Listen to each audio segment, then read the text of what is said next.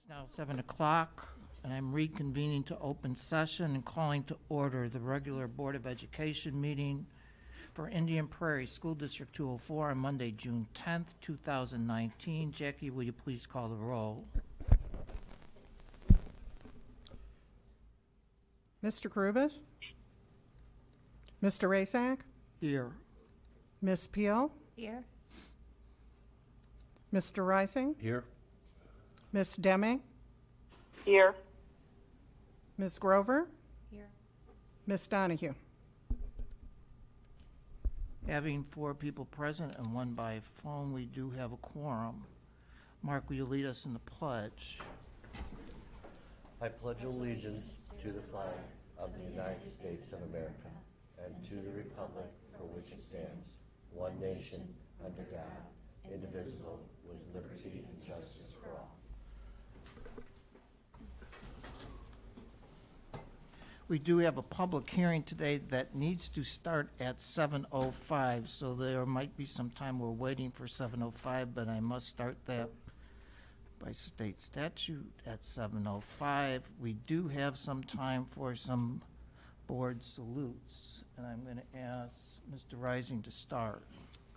Absolutely. The board salutes District 204 Special Olympic athletes who participated in the Special Olympic Summer Games held this past weekend at Illinois State University. Congratulations to the 4 by 50 meter swim relay state champions uh, Sophie Boyle, Ryan He, Tim Gibbous, Spencer Howe, and the students who captured silver medal in the 4 by 25 meter yard freestyle relay Tyler Leahy, uh, Michael Mueller, Ryan Gronowski, and Andy Anaya.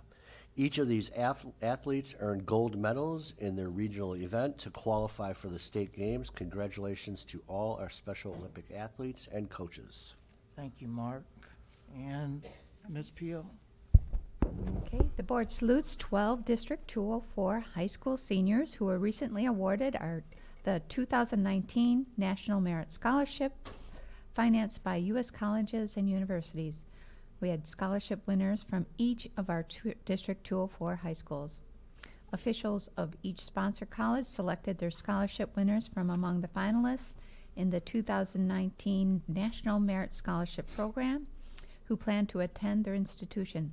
These awards provide between $500 and $2,000 annually for up to four years of undergraduate study at the institution financing the scholarship. We congratulate all our National Merit Scholarship winners. Thank you, Kathy. We did. And it's You're back. It's seven oh three, and there's not really an agenda item that we can accomplish in two minutes, so I'm sorry for this, but we will have two minutes of uncomfortable silence.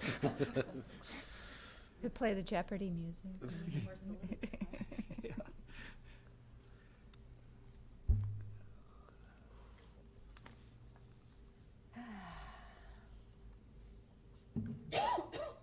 Did anybody see the final Jeopardy where the John mi- missed? No? James guy, I thought it was John, no? James. uh, James? I, s- yeah. I don't know how I went no. It was in the paper every single day.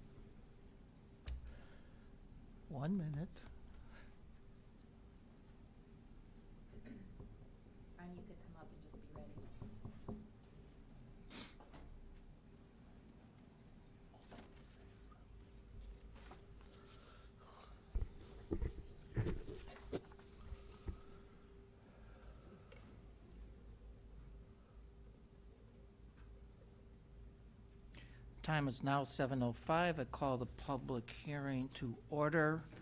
Public hearing today is for the application for a waiver or modification of the mandates of School Code Section 105 ILCS 5-10 dash 17. Um, Ron, do you want to clear all that up for us? Absolutely. Uh, Good evening, board members. Tonight's public hearing is regarding a waiver of a school code mandate related to the publishing of the district's annual statement of affairs. The school code requires that a statement of affairs of the district be published in the newspaper of general circulation prior to December 1st, and a certified copy of the statement filed with the Region Office of Education no later than the 15th of December of each year. For proposed waivers of school code mandates, they must be based upon meeting the intent of the rule or mandate in a more effective, efficient, or economical manner. The information contained in the Statement of Affairs is available on the district's business office website and parts of the Comprehensive Annual Financial Report, or CAFR, in the school report card, in the annual audit report of the district financial records, and also available through the Freedom of Information Act. Tonight, we're looking to not need to post this information in the newspaper and save the district upwards of three thousand dollars. To comply with this waiver, we'll make this report available when requested, available in the district central office, as well as being published on the district website. The public will also become aware of this availability through, of the report through the district's community newsletter. There are multiple requirements to request a waiver, with ISB including required notices to the public, each bargain unit group leadership, and state legislators. Each requirement has been completed leading up to tonight's hearing. Tonight's hearing is the final step before submitting the waiver application to the Illinois State Board of Education for approval. The waiver we're seeking is for five years, starting with the 1920 school year and would end the 23-24 school year. Thank you. Any questions from board members? Hearing none, we go to the public comment on the proposed waiver or modification. No one has signed up for public comment, so I assume that no one will be speaking to this uh, request for waiver and modification. Hearing no public comment, I need a motion to close the public hearing. Make a motion to close the public meeting? Second? I have a motion and second. Any discussion? Hearing none. Jackie, can you call the roll? Mr. Rising? I should say that was the public hearing, not meeting. Aye. Thank you. Mr. Rising? Aye. Ms. Peel? Aye. Ms. Deming? Aye. Ms. Grover? Yes. Mr. Rasak? Aye, motion passes. I now need to move to re- the recommended action, which is, I need a motion that the Board of Education approve the application for the waiver and modification of the mandates of the School Code Section 105 ILCS. I could have done that without you repeating it.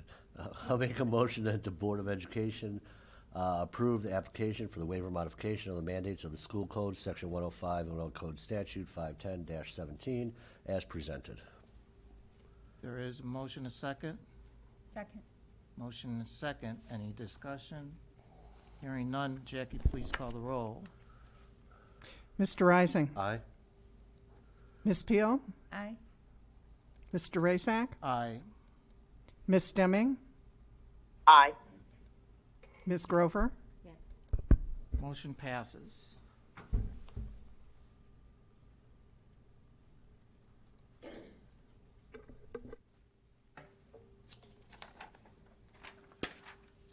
Now I get to do bittersweet stuff. I've worked, uh, right now, we're going to honor two of our administrators who are retiring. Um, It's bittersweet for me because I worked with both of these uh, fine people as co- and they served as colleagues. Um, it's bittersweet because they're great administrators.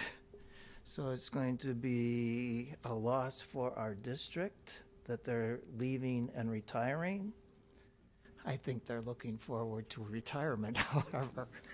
And so with that, I'm going to ask Lena Guerri to please come up.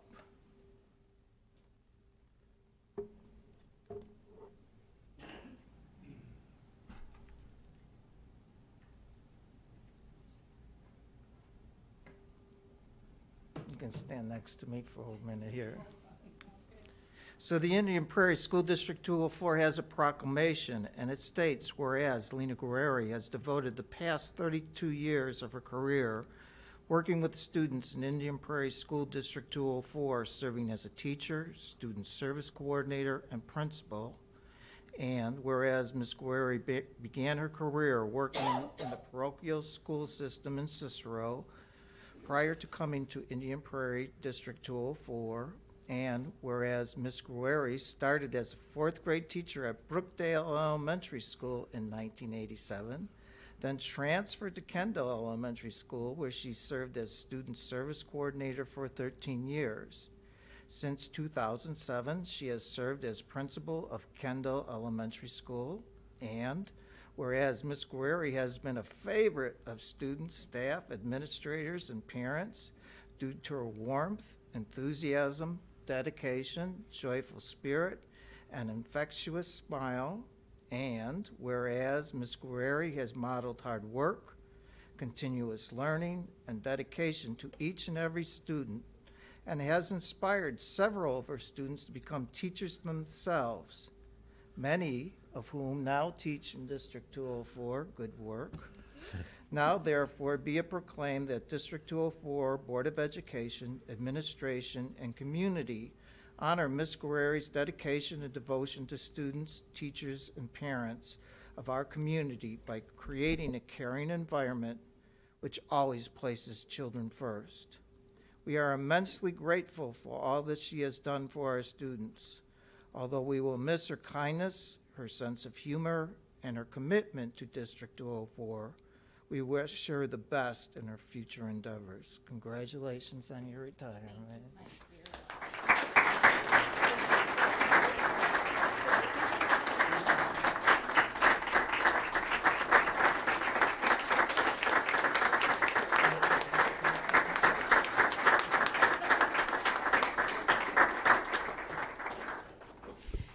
Thank you so much. Board of Education, um, thank you so much for the opportunity to uh, work in District 204. Um, yes, that many years ago, I came out for my first interview when the central office was located on Route 59 in 34, uh, next to an off uh, off-track betting shop. And I thought, okay, where am I headed? And and it was. Um, with uh, Howie Kraus and Chuck Seidel that I had the opportunity to begin working in District 204 at Brookdale School. So my entire career, with the exception of two years out of the 35, were within this district. And I'm so grateful. I thank everyone for the opportunity, my relationships, the friendships I've made, um, family relations, student relations will forever be in my memory. Um, and I leave um, just knowing that I've had a blessing this career has been a blessing, not a job. It's been a career, and it has truly been a blessing to serve all of you.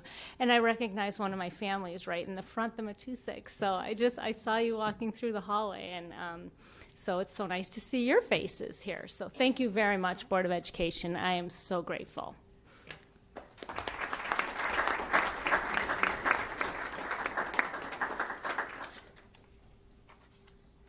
And now Steve, come on up.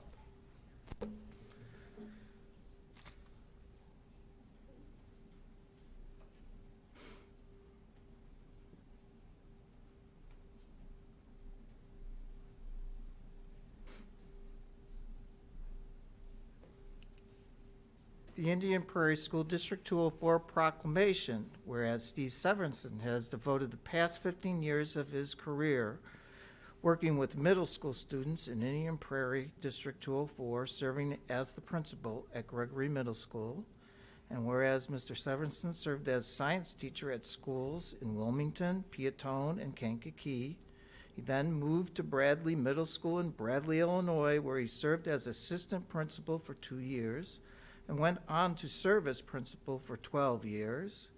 And whereas Mr. Severinsen was honored with the prestigious Milken Family Foundation National Educator of the Year Award, and whereas Ms., Mr. Severinsen has created an atmosphere of mutual trust and support among his staff, and works diligently and successfully to develop and sustain high morale while sustaining high expectations for the attainment of personal school and district goals, and whereas during Mr. Severinsen's tenure as principal, Gregory Middle School has received numerous awards, including being recognized by the Illinois State Board of Education for his outstanding efforts in successfully implement, implementing positive behavior intervention and supports at Gregory Middle School, and being named four times as an Illinois Horizon Schools to Watch by the Association of Illinois Middle Schools. And whereas under Mr. Severinsen's leadership, Gregory Middle School received one of the highest accolades of being named a Blue Ribbon School by the U.S. Department of Education.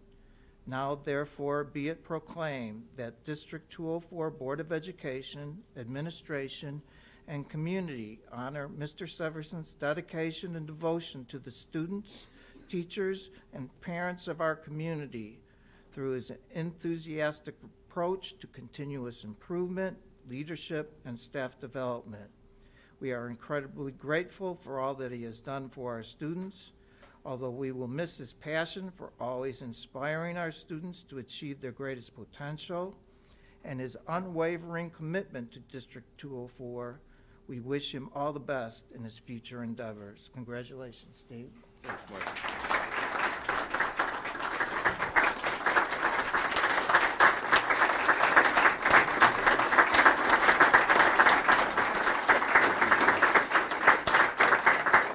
Very nice.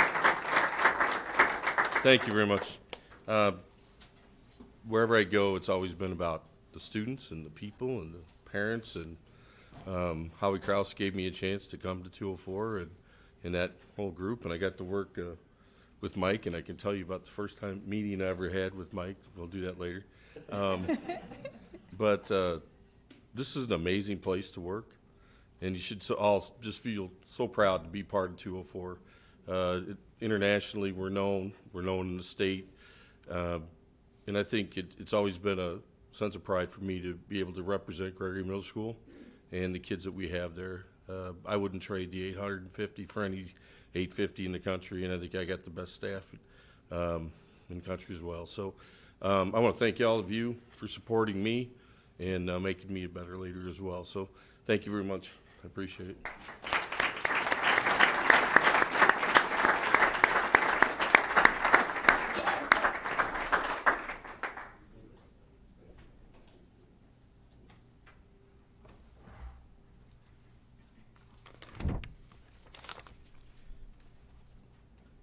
It is now time for public comment for non-agenda items. If you are here to speak to an agenda item, that comment will be taken immediately prior to that item. And we do have one of uh, a public comment on the behavior report. Thirty minutes is allowed for public comment, and each person is limited to three minutes. When addressing the board, we ask that you respect the confidentiality and safety of our students and school district personnel. We also ask that those addressing the board be cognizant that this is an open meeting and is available to all age groups. And as such, ask that you consider who the audience members are this evening and keep comments age appropriate. Public comment represents the voice and the opinion of the speaker. There will be no feedback from board members during the meeting, but follow-up will be provided by an administrator as appropriate. Our first speaker is Lynn Matusek.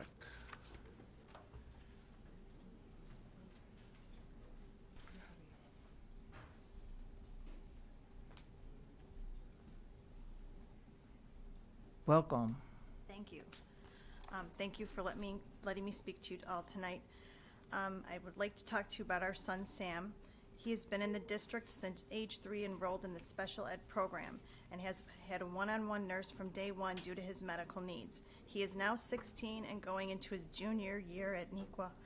We were notified on June 7th of this year that the district is changing Sam's one-on-one nurse. His current nurse has been with Sam for the last six years. He has had about four nurses in total since he began school. We rely on his nurse to be an extension of the care we give him at home. We trust Sam's current nurse with our son and know that his medical needs will be met and he will be well cared for with dignity. Um, we do not wish this change to happen. Um, we have some documented problems when a change in nursing or sub-nurse has been assigned to our son. The district has been made aware of all issues and has recognized, minimized, and sometimes lied about the events occurring or blamed us.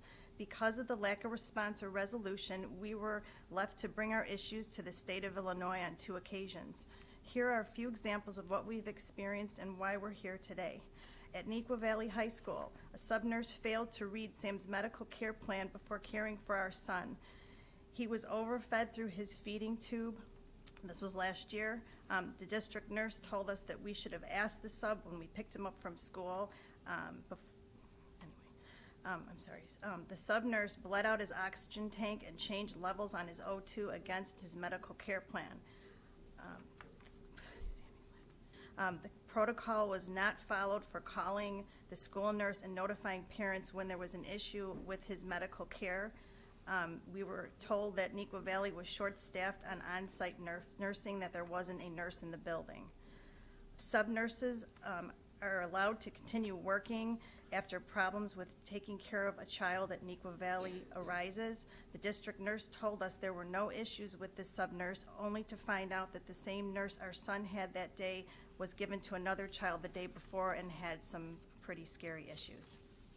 At Owen Elementary, a district nurse um, told us that our son did not need oxygen or a nurse when we were at an IEP meeting. Um, a teacher put a band similar than this around my son's mouth and his head um, to keep him from biting his hands without asking us if it was okay. Um, with diapering, they left wet diaper wipes inside my son's diaper to prevent leaking. Um, his daily feeds and records were falsified and changed by the nurse. Um, we had to request a daily log to confirm it to be accurate.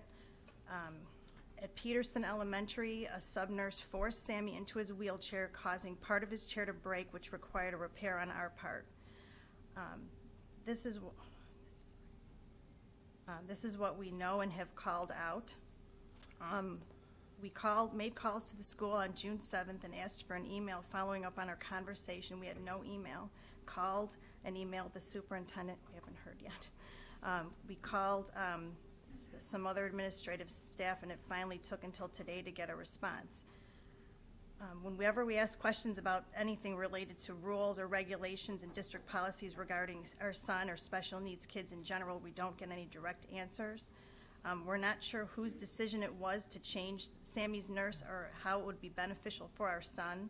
Um, We wanted to know if his team at Neuqua Valley was consulted, because we are in fact a part of his team. Ms. Matusek? Yes. That, that beep was like the three minutes, so I, I need to ask you to like finalize that in a Okay, I'm minute. sorry, A- I And like, uh, yes, I know, in a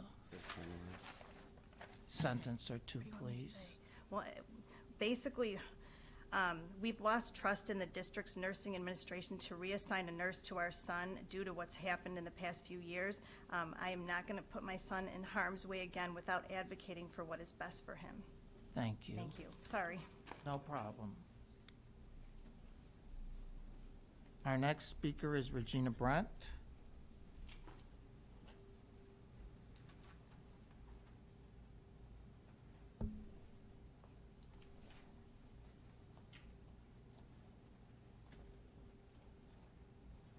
Welcome, Regina. Thank you. I wish I could make this as quick as the game tonight, but unfortunately. My name is Regina Brent. I'm a citizen in the neighborhood of Naperville Township. I'm also uh, a representative of this township, an elected person. Um, I call, I came here tonight on behalf of two young ladies.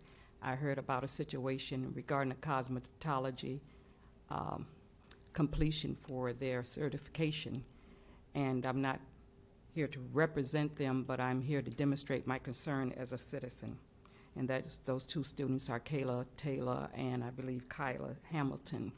I came here tonight just to share with you a personal story of mine. 48 years ago, I made a big mistake. I was a kid, 16 years old, pregnant mother, went to school, suppressed the pregnancy with some gear to keep from anyone knowing, and because I was ashamed. Principal found out about it. At that time, people say, you know, they squealed on you. So I had to be called to the principal's office, and he says, Your mother have to come up here. When we got up to the school, he explained that I would have to go to um, a uh, pregnant girls' school. And I burst out with tears. He says, Why are you crying? Why should you not go to the same school? What makes you different than any other girl? I said, Because if I go there, I may not ever come out. All I'm saying to you is that was Mr. Pendolfi. And I wish that he was here tonight because I do know he's on this board somewhere. He had an open heart. He told me, he says, you know what? You're going to come up here every week, report to your teachers, and you will graduate on time. He gave me a break.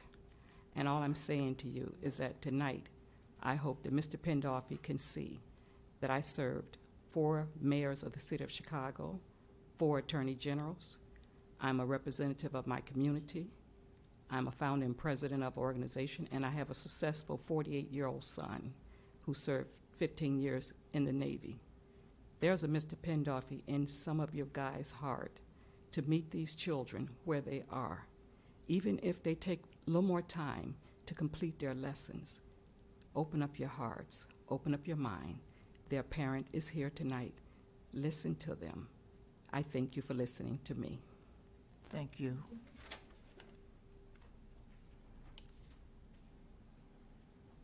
Our next speaker is Peyton Metry.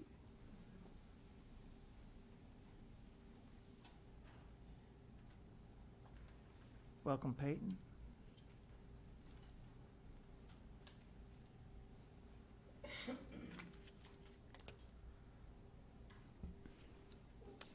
Good evening. My name is Peyton Mitri. I was a four year varsity lacrosse player at Neuqua Valley, and I graduated this past spring. First things first, I'd like to shout out both the girls' team and the boys' teams for the success they had this past season. The Neuqua Valley girls lacrosse team fought hard for their eighth place title, as well as the boys' lacrosse team, who fought just as hard for theirs and got third in state. Lacrosse is one of the fastest growing sports in the nation. At the 2019 informational meeting for girls lacrosse, we had 50 girls sign up to try out. When the cost to play in District 204 was announced, our numbers dropped to 31 girls. It becomes incredibly difficult to grow the sport at Neuqua and throughout our district when, I, when it is cost prohibitive. At such a high cost to play, the only similarity we feel to other student athletes is that we can wear the Neuqua name on our uniforms. While our peers are, playing, are paying $200 per sport, we are paying more than three times that amount and are excluded from the cost benefits of participating in, mul- in multiple sports. I speak not only for my fellow athletes, but also for the parents. Why do lacrosse parents continue to pay the absurd amount it costs to play lacrosse in District 204?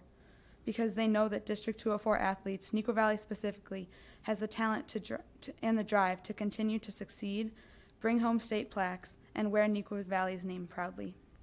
However, it is impossible to continue to succeed at the level we did this year if we continue with multiple years of parent funding. We will continue to lose numbers on both ends, and by the time those years are up, Neuqua Valley lacrosse will not be able to be sus- sustained, much less will we be able to excel or compete between our sister district and Naperville. What we ask of you is the chance to let us play at the same cost of other athletes and to show us how proud you are of who we are and what we can do for our district. We hold you on a pedestal, so please help us do the same. On behalf of the Neuqua Valley lacrosse teams, thank you. Thank you. Thanks, Peyton. And last speaker for non-agenda items is Petra Lakonik. Hi, welcome.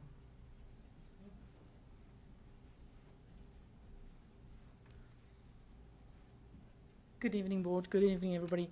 I was talking about the same lacrosse. So two years ago, we made the decision to make lacrosse as, um, a school sport, which I think was absolutely the right decision for our district. And we, as a team, the, if you look at the boys and the girls team, they've really, I think, made the schools proud. And I am a parent of kids that with three kids playing lacrosse. I moved to this district because of lacrosse.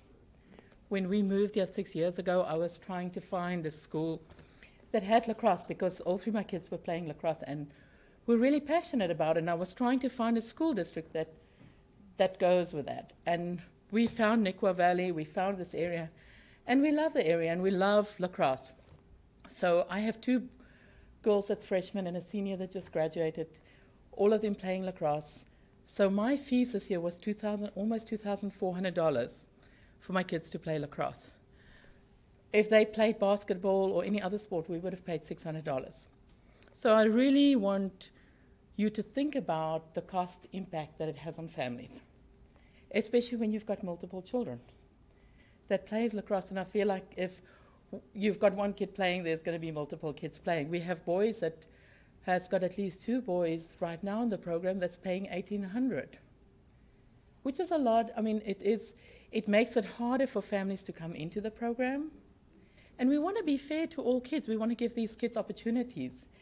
The lacrosse team is such a welcoming team. The kids that go in there they form new friendships they're part of a team they're part of a winning team the girls um, jv team won all their games. They didn't lose any games. The boys um, JV lost one.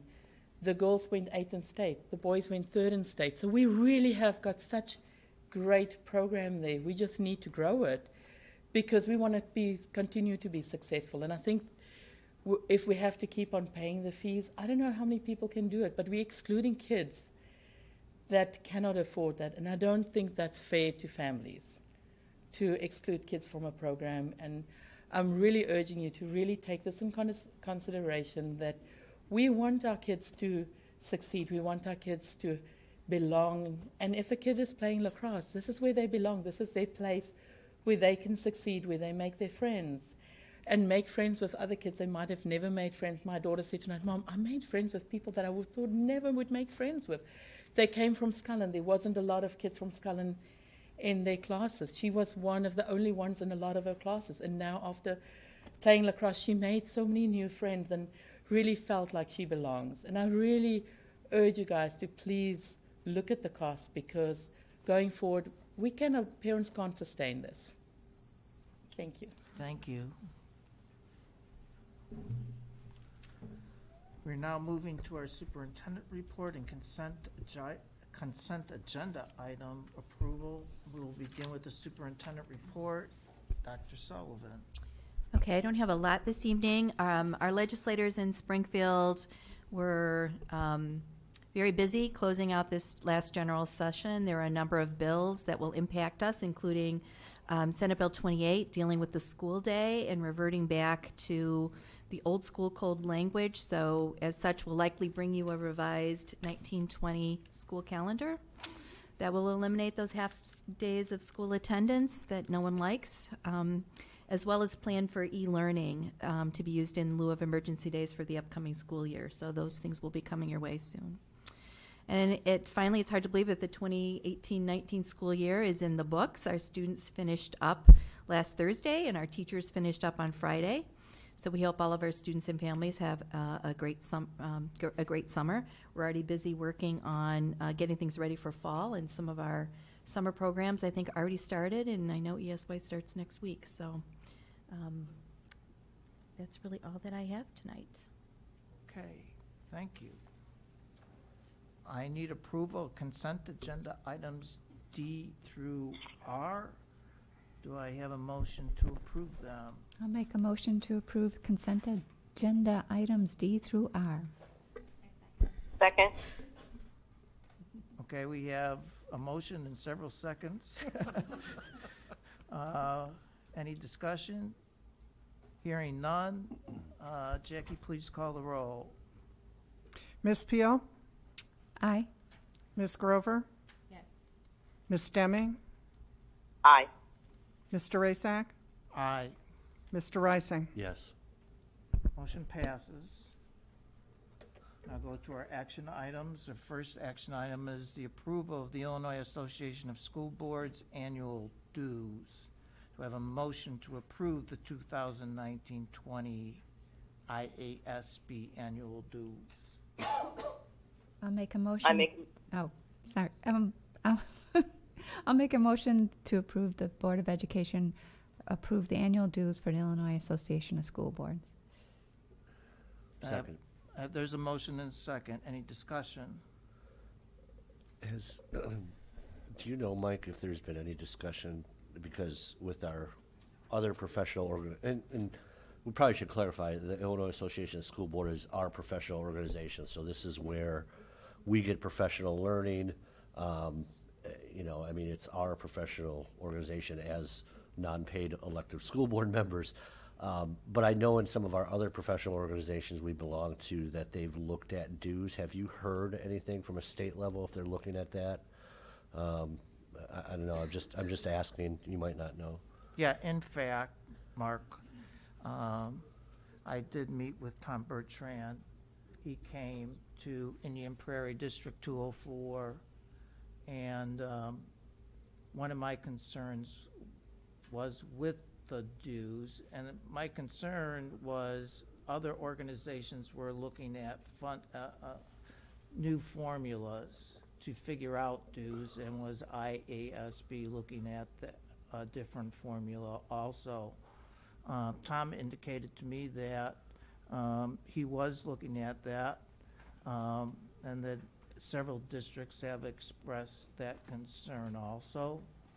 And so, one of the reasons that I asked that this be put as an action item instead of a consent agenda item is I want to be clear where I kind of stand with IASB. I think they have been invaluable to us in several different ways. They've been invaluable to us in terms of helping our board grow when we came, when we needed it. And they provided, um, training for us, both through self-evaluation and through the conferences. Um, they're, they're very assistive in terms of when we have policies. Um, that has been very helpful for us. They also serve as advocacy for us, for uh, our legislature, which over time, we've needed help with advocacy. So I think they have done a yeoman's job. Yep. Yet, as, as things change, as time changes, things need to change. And I think it's important that IASB does look at their dues and maybe some of their training packages in order to help serve higher functioning boards in a better way. Yep. To be fair, Tom has been very responsive. I want to continue to have those conversations with him. I think it's important to do so, and I think they will respond positively. Yet I want to make sure that everyone knows what our status with IASB Yeah. is. And, and I'll echo your sentiments. I mean, uh, I, I think they're phenomenal and they, they represent us with our legislators down in Springfield. and I understand that we're the, I think, fourth largest district in the state. Um, but with things being evaluated and looked at from a state funding for public schools at a different, with a different lens now, with, with evidence-based funding, I think that also needs to be taken into consideration because we are not a, um, a, a very, uh, rich, if you will, um, or have a lot of localized, uh, assessed value, uh, district as some other districts. So I think that also needs to be a component and hopefully, you know, hopefully they'll, they'll look at that as well. But, thanks. Kathy? Mike, I, Go Mike, I ahead, did have- Susan. I did have a question. Have we, I don't know whether Tom asked for any feedback or suggestions, or if they are going to request schools to help take a look um, and provide any input into that fee structure? Um, Tom was open to that. My intent is to share the legislative education network of DuPage due structure with IASB in order that they will do that pro- probably with our business manager Jay Strang, who is one of the architects of that new due structure, just to have a basis of discussion for them. So Okay, that, thank you. that would be, I'm, I- I'm going to initiate the next step with IASB. Perfect. Okay. Thanks. I would just say, um, yeah, it, it's, um, ISB has been essential in getting this, um, our current board where it's at. So you know, we do have to always keep that in mind. I do think there are some um, wor- ro- room for improvement in offering programs for boards that start to function the way they're supposed to function. Um, and I think the fee structure too does need to be looked at. So I think those were good points to bring up, and um, maybe you have to be a, a good functioning board to bring them up at this point. but um, so that's that's uh, they've created their own worst enemy with us. So, and that's a good thing. So I, I think uh, um, it's cer- certainly not uh, an organization I would want to see us walk away from um, because uh, it takes constant work to be a good functioning board. So uh, I appreciate the conversation you started with. Thank you. Ms. Grover, anything? No. I think I do have a motion and a second. Any other discussion? Hearing none, Jackie, call the roll, please. Ms. Peel? Aye. Mr. Rising? Mr. Rasak? Aye. Ms. Deming? Aye. Ms. Grover? Yes. Next agenda item, an action item, is the consideration um, and the approval of the superintendent search agreement with Ray and Associates. Do I have a motion to approve the agreement with Ray and Associates? I approve that we, ap- I, motion. I Have make a a motion. motion to approve the superintendent's search service agreement with Ray and Associates. Second. I have a motion and second. Discussion. I'm sure you're going to make a similar comment to this, but I just, you know, I, we interviewed three, and I think they were all phenomenal, and, and, uh, um, you know, I, I, I don't think any of us could say there was bad things or uh, about any of the three. Um, you know, it's just kind of where we had a comfort level, and uh, I think we made a great decision. I look forward to working with Ray and Associates. Anybody else? I guess I echo that, Mark. All three uh, superintendent search firms made presentations, did a great job. It was a level of comfort, and probably that was the discerning factor in terms of our selection. Any other discussion? Hearing none, Jackie, call the roll. Ms. Grover? Yes. Ms. Peel? Aye. Mr. Rising? Aye. Ms. Deming? Aye. Mr. Rasak? Aye, motion passes. We now move to discussion portion of our meeting. Our first, have a public comment. oh, yes, we do. Our first one is on the student behavioral review, and that's where our public comment is. So it is now time for public comment for agenda items. Uh, We have one speaker, so we ask that you limit your conversation for us for three minutes. Again, the same parameters exist when addressing the board. Please respect the confidentiality and safety of our students.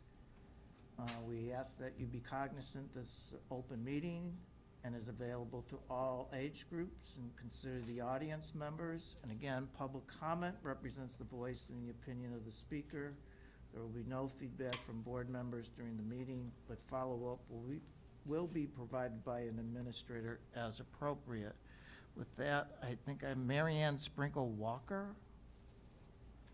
Welcome.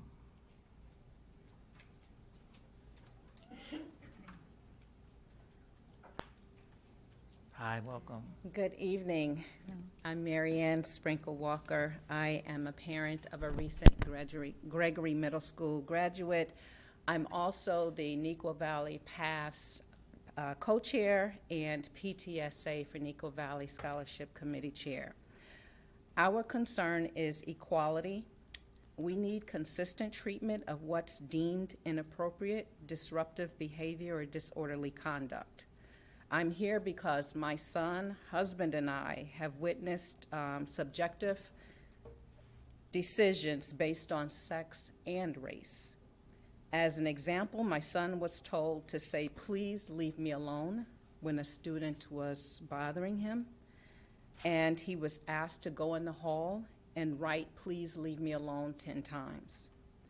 Then, in a reverse incident, he was actually given a detention. I would say to parents to listen to your students, take action, don't let it ride.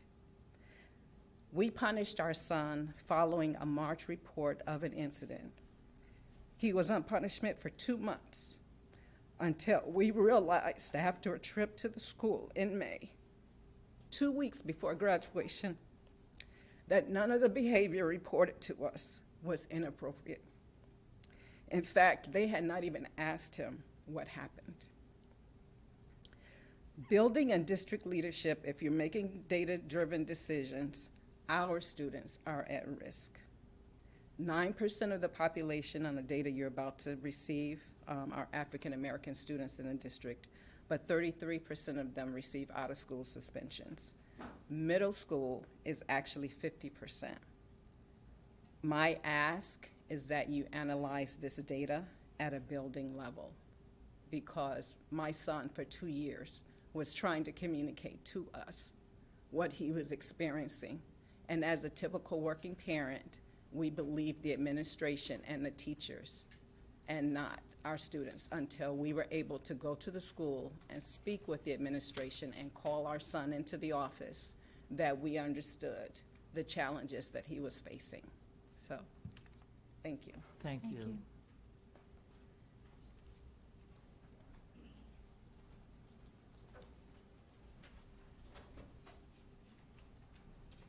And now the behavior review.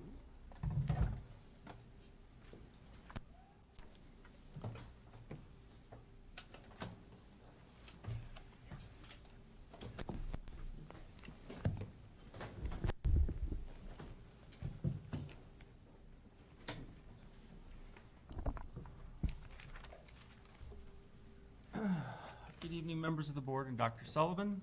Uh, My name is Brad Hillman. I'm the Assistant Superintendent who works with the middle schools. And on behalf of the teaching and learning team, I would like to thank you for allowing us to come before the board and present the annual Student Behavior and Interventions Review in accordance with Board Policy 7190 associated with student behavior.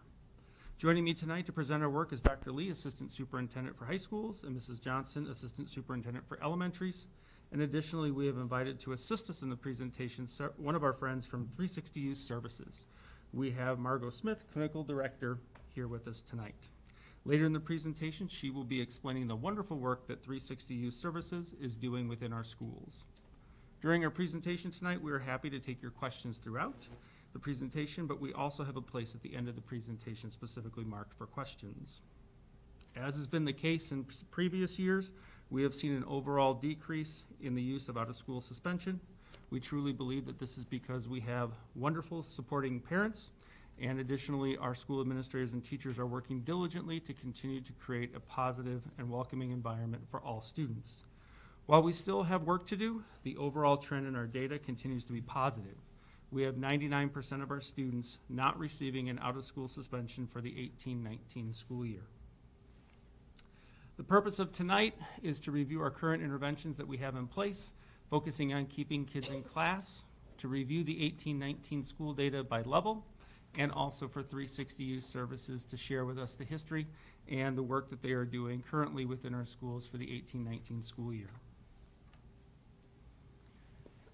We use a multi-tiered system of approach just to be, to be able to support our students. We have universal supports that we try to do with all of our students, things like positive behavior intervention supports, PBIS, intentionally foster relationships with students and parents, and trying to establish a classroom climate with class meetings and increased student engagement that all students want to be a part of and learn from.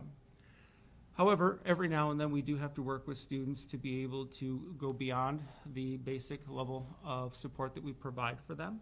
And in here, we begin to look at components of restorative practices as one of the major things that we are trying to implement throughout um, all of our buildings, in which we are trying to get students to understand the impact of their, their negative behavior on their peers or on the school, and also be able to try to assist um, being able to provide better relationships um, maybe a targeted individual that they can meet with whenever there is a stressful situation that is taking place that they don't quite know what to do, who is that trusted individual, individual that they can definitely go to and really set up that relationship in a very positive fashion for them.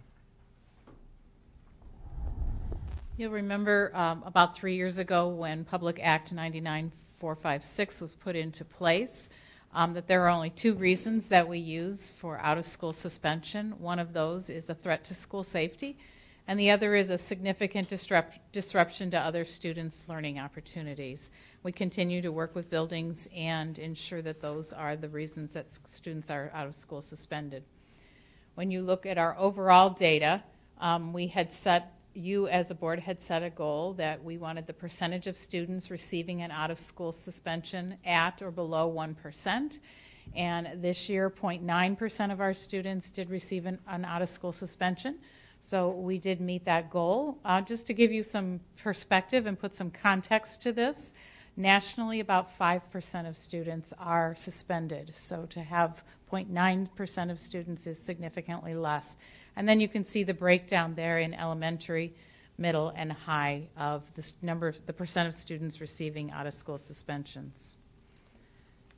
The next slide shows you the um, six-year suspension data for elementary schools. And as you can see, there has been a significant decline um, over the last six years. In those last three years, we have seen a plateau where we're hovering right around 20 students, elementary students, that receive an out-of-school suspension. Um, you can also see the racial breakdowns there, and we continue to have uh, some disparity amongst those racial groups, and we speak regularly as a principal group about how we can um, eliminate that and look at uh, and do trainings on things like implicit bias. Um, the main reason that students in elementary school have been out of school suspended is due to physical aggression. Um, now, in elementary school, physical aggression really looks more like a lack of self regulation. Um, as an elementary student loses control and are unable um, to regain self control, they might lash out, um, push things, throw things, that kind of stuff. It's not um, like a fight.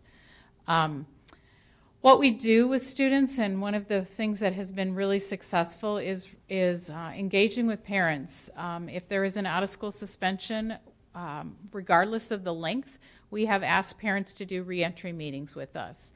Um, parents come in when students reenter into the building. Um, parents come in when students re-enter into the building, and we do a meeting with the principal, typically the parent, and then the student. And that way, the student helps see that we're all on the same page, we're all on the same team, and we review the strategies that students can use if they've lost control. We also do self-regulation instruction, sometimes at a tier one level where all students are receiving it, but most specifically on um, a student level where students need a little extra self-regulation instruction. Just how can they um, get control of themselves? Most often, schools are using things like zones of regulation, which shows a thermometer of what color you are and how you can um, calm yourself down.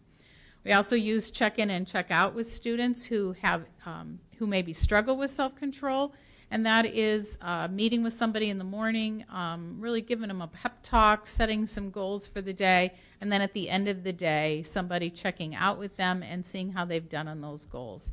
That way, every student knows that there's a cheerleader for them in that school, um, regardless of how their day has gone. And then, of course, we do problem-solving um, meetings, both um, on individual situations as well as whole school for students that are struggling.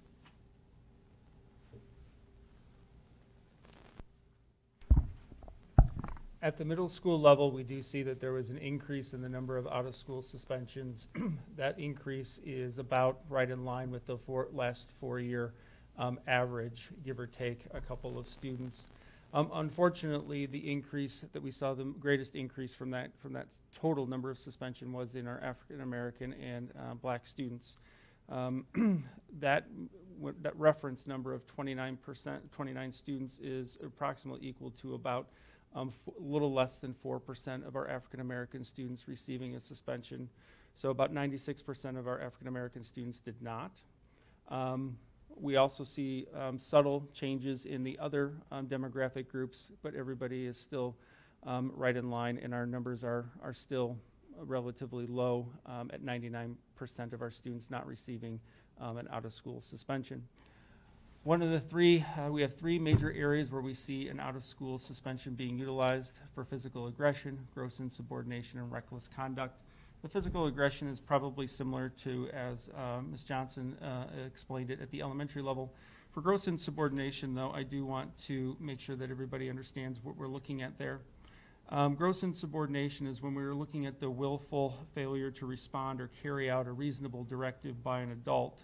Um, however, when it begins to move into a gross insubordination, it now begins to look at where the school personnel feel that they can forecast a substantial injury or disruption that is of major, um, that is of an escalated quality. It's not just a simple, I didn't do what I was asked to do, but rather that there are some severe consequences that could be associated with not following that, that specific request. What do we do to be able to address um, the negative interactions at school? We are trying to make sure that we have parent reentry meetings. So this way, again, we are getting our parents into the building, making sure that we are providing a solid front um, with the school and the parents together, making sure that students understand that we are working together to meet their best, best needs. And then we also are utilizing 360 Youth Referral. Um, you'll be hearing quite a bit about the referral program later on in the presentation um, from Margot Smith. And the other piece that we want to make sure that we understand is the team support. Uh, at the middle school level, all of our students are on teams, and we have teachers who meet on a regular basis to be able to discuss progress that students are making academically, emotionally, and socially.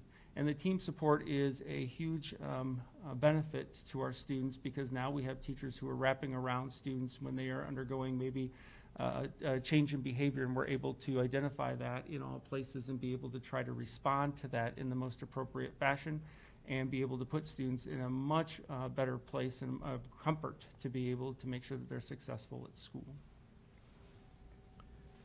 Similar to the other two levels, um, when you look at the past seven years of data, you will see a gradual decline in the number of actual suspensions for out of school suspensions across all of the categories.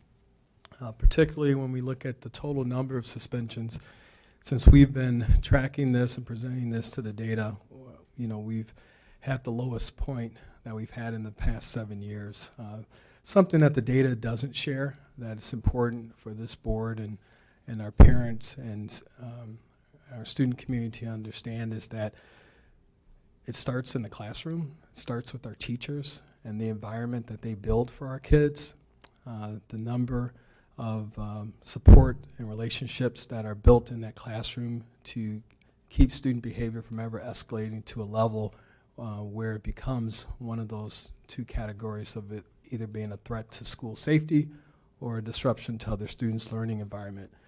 Also begins with the counselors and our deans and the amount of work that they do with the number of students who are uh, potentially uh, could be uh, based on some of the choices that they make um, and what they do to help remediate those choices so that our students uh, continue to progress in a positive manner and contribute to a positive school learning environment.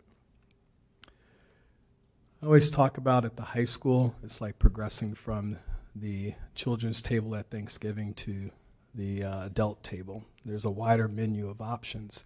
And with, unfortunately, with some of those options, um, they can result in some greater uh, infractions. But what's important to remember is we continue to provide interventions for these options so that students have the support and what they need to make good choices. Some of those interventions are very similar to what you've already heard. Uh, we'll be hearing about some of those in just a moment with our um, partnership with 360 Youth Services. Um, one thing of note that we did notice uh, this year uh, last year we talked a lot about vaping a little bit. Uh, you'll notice that that is not up there. Um, and we, we look at that for uh, a couple of reasons. One, um, we believe uh, some of the uh, education that we've been able to put out is starting to seep in. Uh, we've seen some change in laws on a national level and some greater attention to that. Uh, but that being said, we don't want to read too much into that. We know that students are very savvy as well, and we continue to monitor uh, how some of these um, some of those choices are being made. Uh, we continue to um, look at restorative circles uh, and the support that we have in helping students um, uh, as they come back into the environment and transition back in, um, the form of harm that was done and how we can help support that and remediate that. And then again, uh, our work uh, through the um, ISS coordinators are in our in-school suspension uh, rooms uh, and what they're doing to help those students make positive choices. Speaking of positive choices, I think um, over the past years we made a very positive choice, uh, Dr. Sullivan, in, starting a partnership with uh, 360 Youth Services. Um, before we turn it over to Margot, I just uh, can't uh, again let you know how much uh, our this partnership has meant not only for our district and not just for what you've seen in the data, but really uh, just supporting the school environment, and they've really just become a part of of Indian Prairie and, and what our school culture is. So with that, I'll turn it over to Margot Smith. Thank you. Oh, thanks. Thank you so much for having me. Good evening. This school year marks the third year of our partnership after we first did a pilot at Metea Valley. So technically, we've been in a school for uh, full years. As a reminder, this partnership began as a, a response to legislation related to minimizing exclusionary disciplinary practices Youth being seen on site by a 360 counselor is one option for school staff as they look at the needs of the individual student that is struggling to engage or thrive at school due to emotional or behavioral concerns or outside stressors. Additionally, the program has always served kids in a preventative manner as well. So we're at the three high schools. This year we expanded to all seven middle schools as well. This slide specifically shows within the alternative to suspension track, as well as the preventative track, the different referral reasons for students. The referral reason is typically identified by the school staff that is referring the youth into the program. Keep in mind with the middle school students, parents do have to sign consent before the student can engage. Um, high school students are allowed to be seen if they're over the age of 12 for a limited amount of sessions.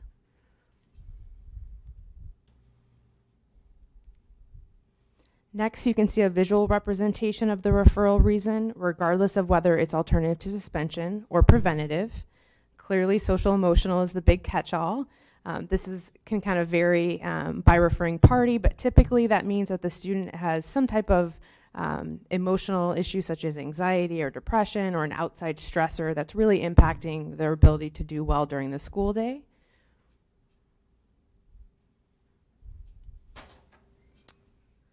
Alternative to suspension numbers have remained consistent, but students served has increased as we've grown to more and more schools throughout the years.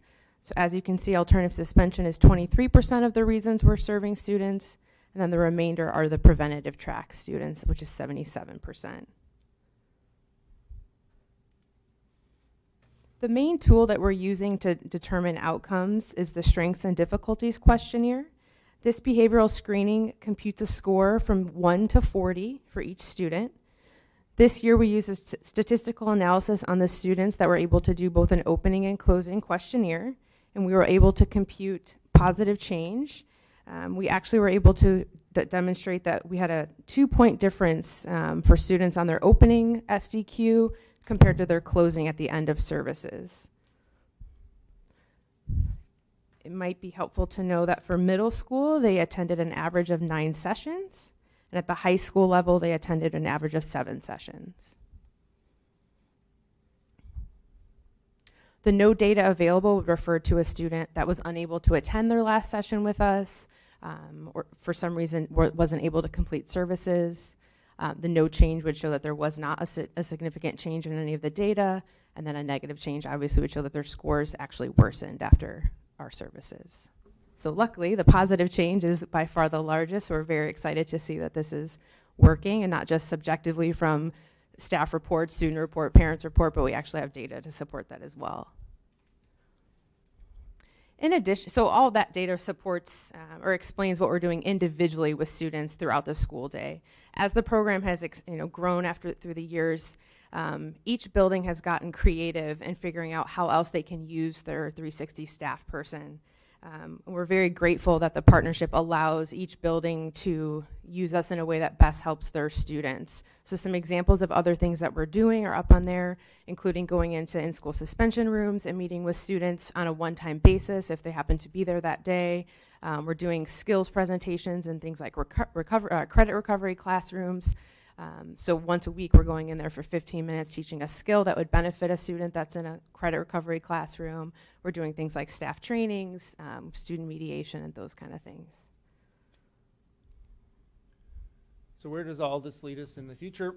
Obviously, our continued use of 360 Youth Services, we think that that is a wonderful partnership that has been very positive, um, both for students during the school day, but also to be able to um, assist families in finding supports outside of school and to be able to increase the um, number of supports that families have, not just at school, but in other places within the community. And 360 um, does a wonderful job of providing those, those referrals and those supports outside of school.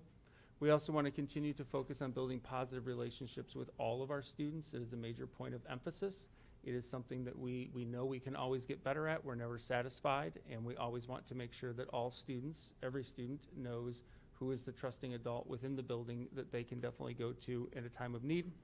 Additionally, the district SEL team is putting together um, curriculum that is going to be implemented universally.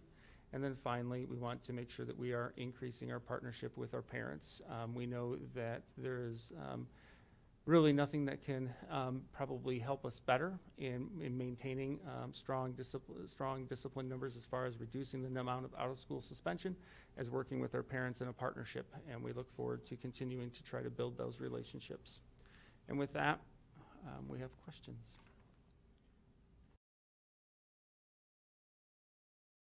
I might have a few, but I, I'm just going to say one thing here. Um, we've come so far since the time I've been on this board. It's pretty incredible, and we're seeing numbers go down. We're seeing our tier one instruction improve and creating those relationships, and I think that's the key to why things are going down. Um, and and so I applaud that you guys are still tackling it and saying, what else can we do? Because we want our kids to succeed. It's not just to stay in school, we want them su- to succeed. And so um, I'm just looking at the numbers going, oh my gosh, um, I, I work in a district where those numbers would be our goal to reach. So um, kudos to you guys. Um, and, and I, I loved the gross insubordination, the, dis, the difference between just, no, I don't want to work right now, um, and no, but I'm going to do something that's dangerous or could hurt somebody else or myself. So I think that's really important to understand um, that that's where we've gone. And that, to me, that is a 10 year difference. That a gross insubordination 10 years ago might have been, no, I don't want to do my work right now, um, which will only escalate a student who is dysregulated. So, uh, again, kudos. And I'm, if I'm understanding the vaping thing, are you saying you're going away from calling it an infraction to more of a health concern? Um, I would say both, and here's why. Uh, we know through recent Illinois uh, youth survey data that the far majority of our students are not involved in that practice. Building upon that, we know that we need to reach the students that are. Okay. And so I think the only way we can do that is continue to uh, hold the ones accountable uh, who, are, who engage in that practice, but also educate them and then the ones who are, are teetering, you know, on, on making that choice, uh, either due to a, a wide variety of factors. So I think, you know, again, this year I, we saw that it, it um, um, I, I wouldn't say significantly dropped, but enough that it wasn't something that, uh, you know, came up in, in, in a rise that like we had seen before. And a large part of that was due to um, less repeatings, uh, less uh, uh, number of students who uh, were egregious, you know, in the use of that. So I think we'll continue to take sort of a, a dual approach in, in how we treat it. Okay, That- that's great. I- I- um, That was just really enlightening when you said that. I think that's the appropriate way to, to handle it. Um, At the, uh, at the elementary level, we're still not having 360 youth services um, refer out. Um, I'm hoping that's a talking point in the future. And um, the other part of that that I wondered about was um, you keep talking about the importance of connecting the parents, and sometimes you had all those categories that you said you refer for. I didn't see uh, family, you know, just family issues, family relationship issues sometimes are what comes to our school, and that's what our kids are dealing with, and that's what the parents are dealing with. Um, so, family counseling is often the most appropriate referral. So, are we having those kind of discussions? Can I jump in? Yeah. So that would fall under the social emotional category because we're definitely seeing on the referral forms that there are, there's family stress at home, and so they would like the student to be seen.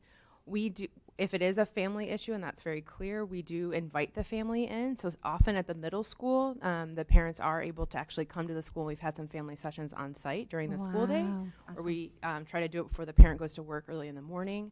Um, there are times we're also offering every student is offered if, if uh, family sessions are appropriate and they're willing, they can come to our office as well. So this year, that's also happened with some middle school students where the family has come in a couple times um, or will engage on their own, you know, privately outside of the school. But uh, so I think the school is flagging that the best they can and offering. And again, that um, families have to be willing, obviously, and things, but we're trying everything we can to engage them and, and offer them support. Good, good. Susan? Thank you. Um, I did have a, a couple of questions. Can you share with me on the preventative, on the boundaries? What can you share with me what that, that boundaries area? What does that mean specifically? Sure, a boundary violation would be something like um, inappropriate texting that's going on between students, um, or Okay. an actual physical boundary violation, touching a student without consent, um, something like that. Okay, thank So, you. so something Um, that wouldn't then- constitute assault, but is some type of infraction deemed by the school. Okay. Okay, thank, I was just a little unclear on that. Thank you. And then I know we, we chatted a little bit um, earlier regarding, um, a mention was made regarding uh, implicit bias and kind of looking at some of these areas and where we wind up with some of our students of color, specifically um, African American. You know, last year looks like the elementary um, we did come down last year. They were almost it was almost 50 percent of the number this year, 33 percent. Um, our middle school, though, just wondering on that, we did go up there um, to 41 percent, and and so that last year it looks like it was about a quarter, and then our middle, our high school seems to be right around about the same. Do we have any ideas potentially where um, that difference is happening on the middle school with those those particular that particular population? And then um, the second question, well, let me let you answer that question first. So in looking at the middle school, we were aware that this particular um, demographic group was increasing as far as the number of suspensions. And when talking with the building principals on a, on a- monthly basis, we meet, we go over suspensions on a case-by-case basis. And what we're really trying to look at is both the, the, the implicit bias piece, which is could, could we have put a student uh, in a, in a negative position? um, And therefore, we were the group that was potentially causing a student to lash out? Or is there something else that is, that is happening and how is that, what's our response to what is happening and how is it that we are, again, putting students in places to be successful?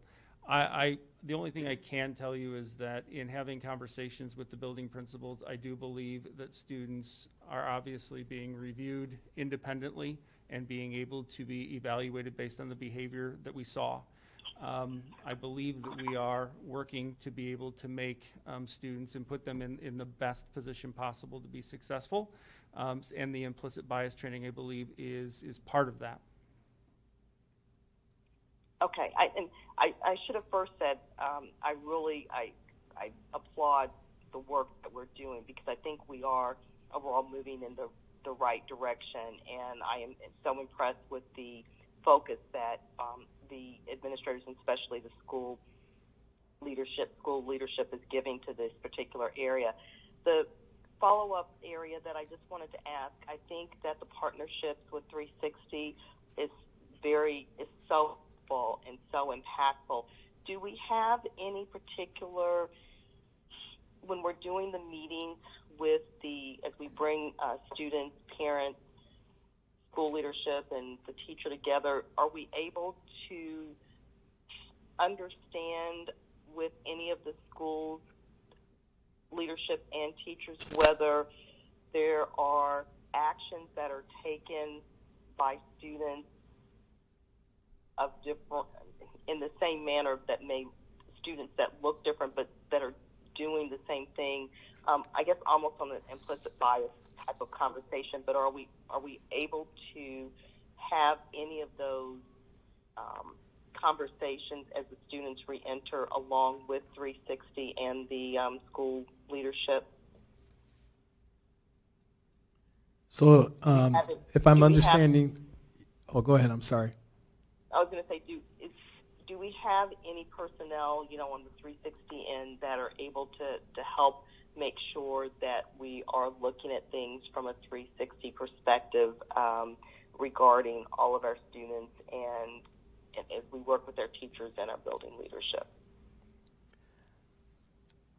If I'm understanding the question correctly, at our reentry meetings, um, I know that um, a wide range of topics are going to be discussed. Uh, the first and foremost and most important topic is um, working with the student to make sure that they uh, are full aware of the, not only the circumstances that may have led up to the decision that they made, uh, but also um, how they would reshape their behavior to avoid that choice in the future.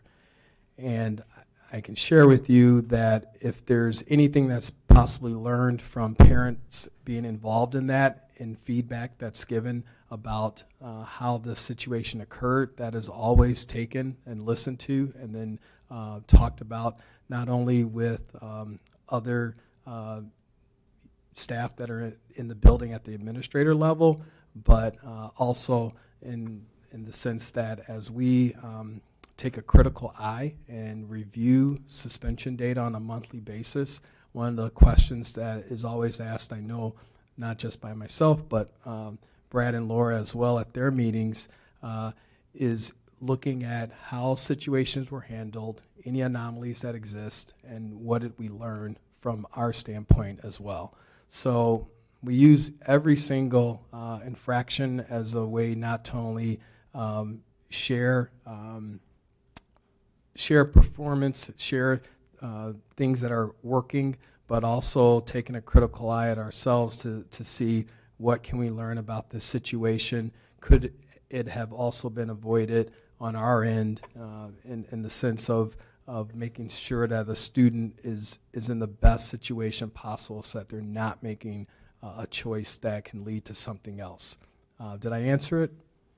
Thank, thank you. I, I that that helps clarify um, some things.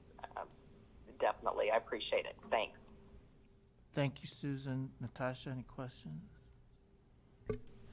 Um, can you explain, because what the positive behavior intervention is? So, um, Positive Behavior Intervention uh, stands for PBIS, um, and that is a national uh, program that helps schools look at their processes to ensure that they are teaching, making database dis- teaching behaviors, making database decisions, reviewing things regularly, and using the multi-tiered system of support. So there are um, strategies and interventions that all kids get. Then there are strategies and interventions that a small group of students may get, and then there are strategies and interventions that are very intensive that only the students that need those that level of intervention get.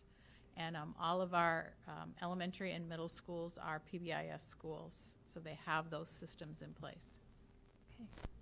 Um, so I noticed with the middle school and the high school, there's an increase um, in the out of suspensions that happens. for middle school, it was 1%, and high school, it becomes 1.9%. And every demographics, there's an increase in out of school suspensions. Is there a reason for that? Do you have any thinking about that, or what is your thoughts on that? I'll speak at the high school. Um, actually, I believe last year we were just over 2% total suspensions. I'd have to double check um, that, but we were, I believe, at about 2.2%.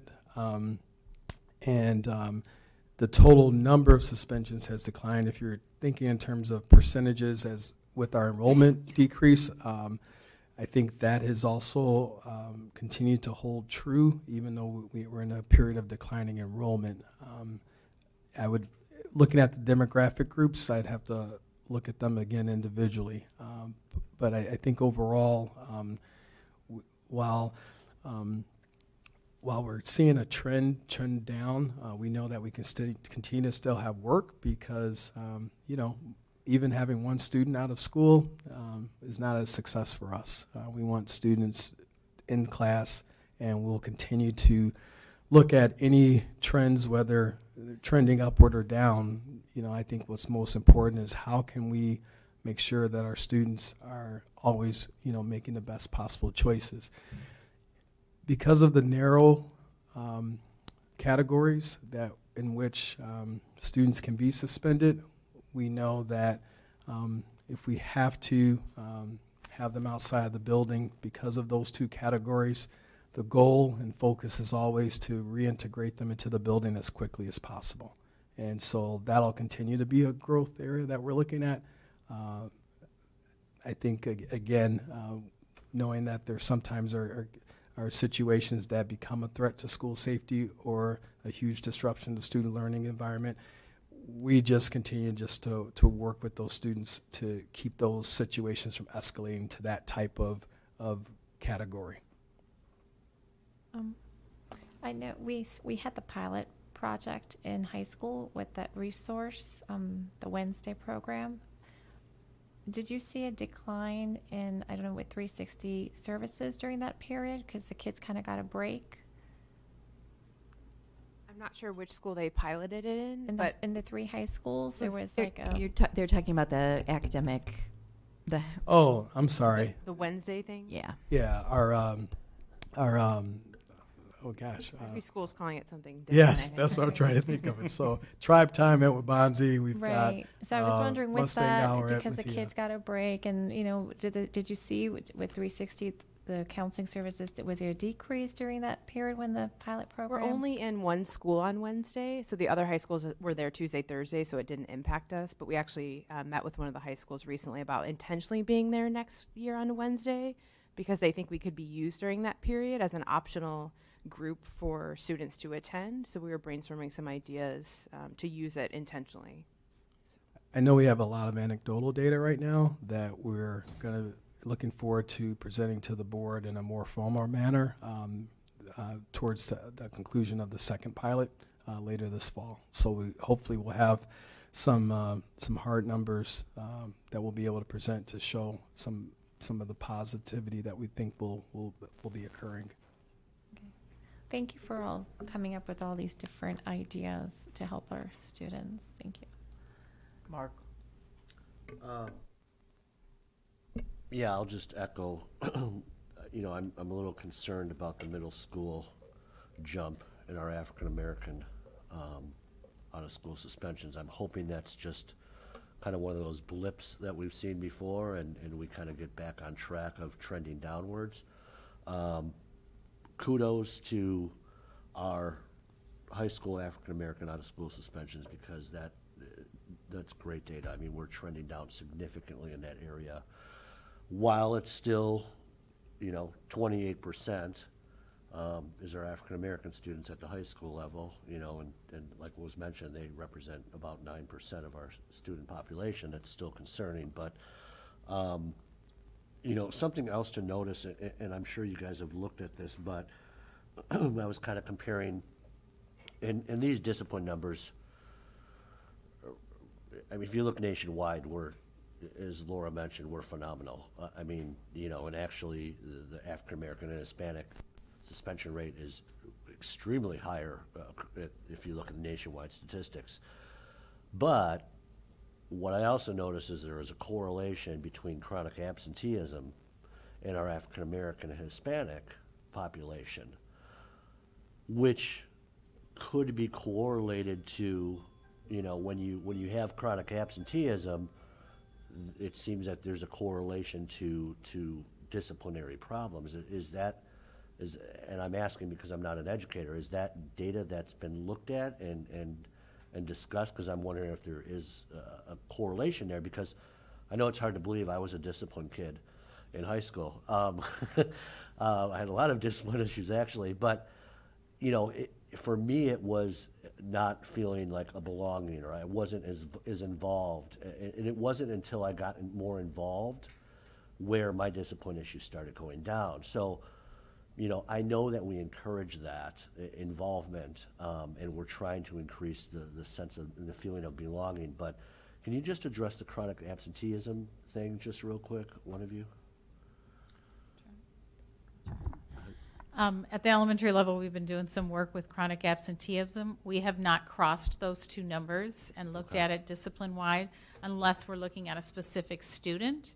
Um, And then, of course, when you're looking in, in problem-solving around a specific student, you notice patterns of disruption as well as patterns of chronic absenteeism, and maybe come to some conclusions like you just shared, where a student isn't feeling like they're belonging, and we try to get them connected with somebody so that that can be um, perhaps alleviated.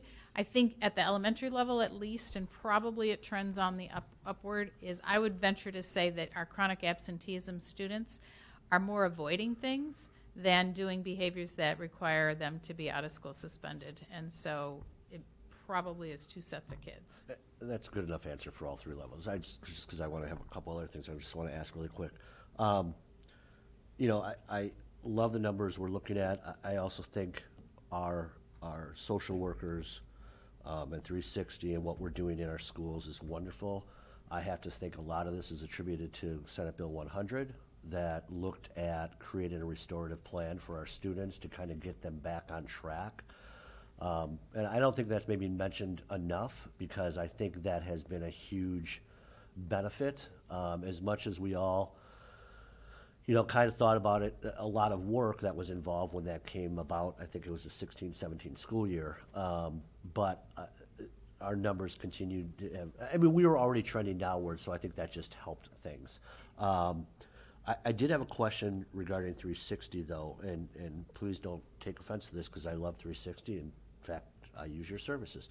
Um, but uh, my question is, you know, I was looking at some of the numbers you were talking about, an average nine sessions per high school student, seven sessions per middle school student.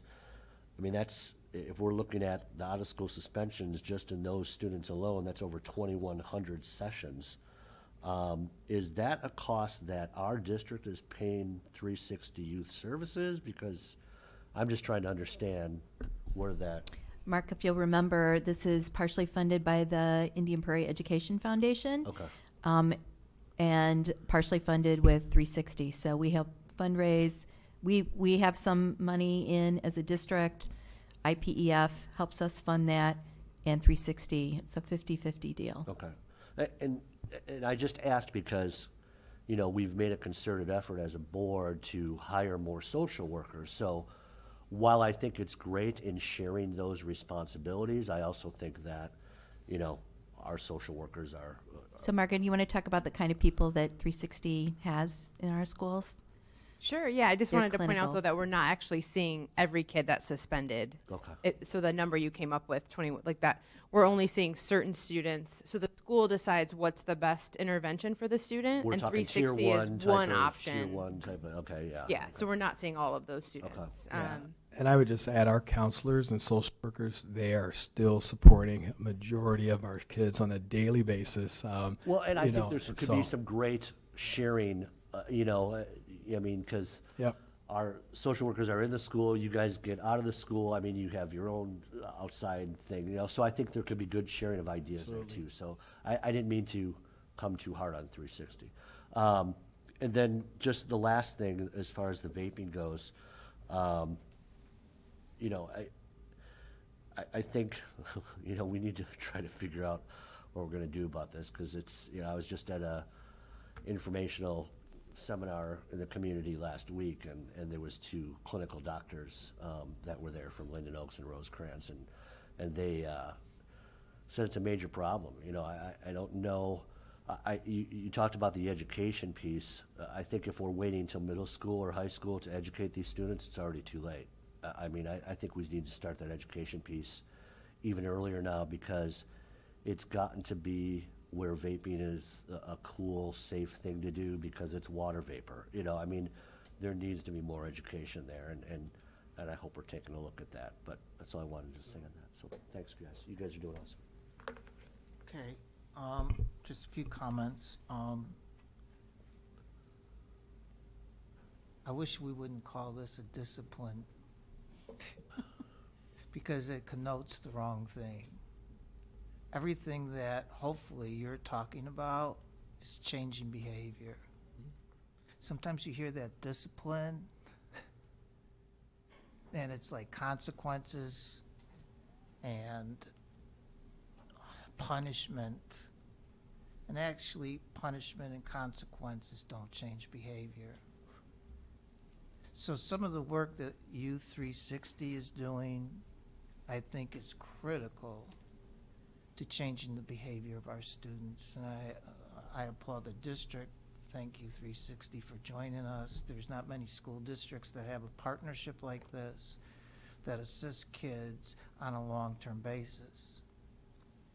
Yet kids are seen seven to nine times. My guess is there's some students and some families that need additional help after those nine sessions. What happens to a kid who still wants to participate in services and behavioral change after they meet with 360 for their seven to nine times? At the middle school level, I don't think we would ever turn a child away from wanting to seek out an adult to have a conversation with and to express the difficulties or concerns that they're having.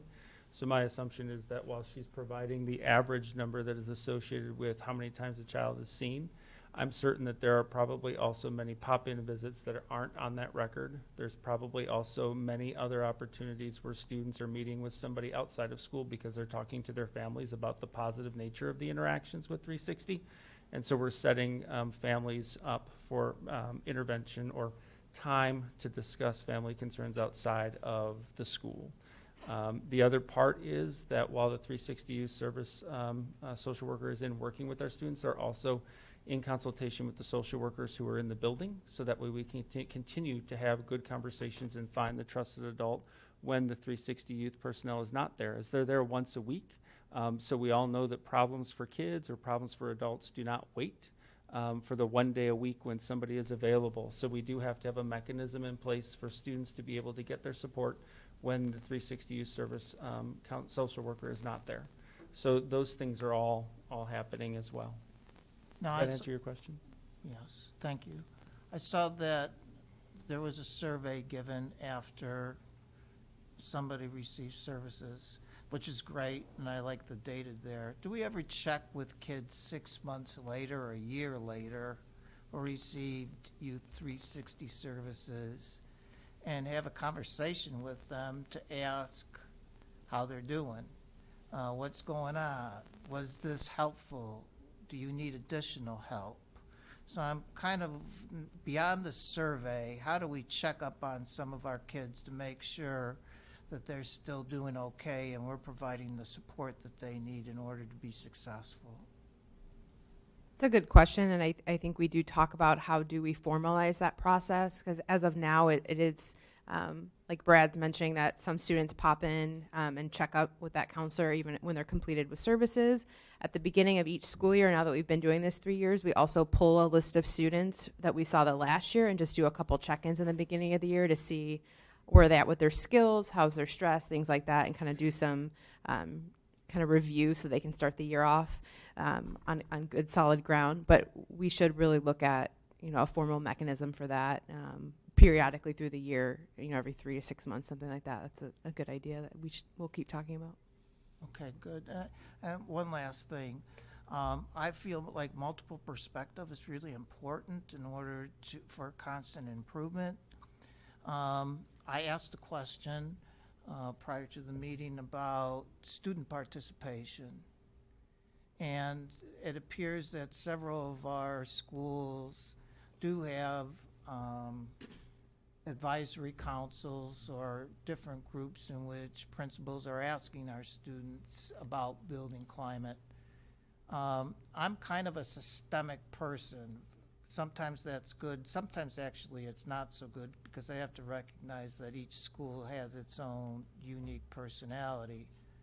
But do you think it's like time, like with our high school kids or with our middle school kids, to have really specific focus groups in which we ask three or four questions across our middle, s- all our school, maybe elementary too, elementary, middle, high schools, similar questions about our climate and our discipline practices and what we could be doing from their per- perspective on how to make a better environment for them to participate in.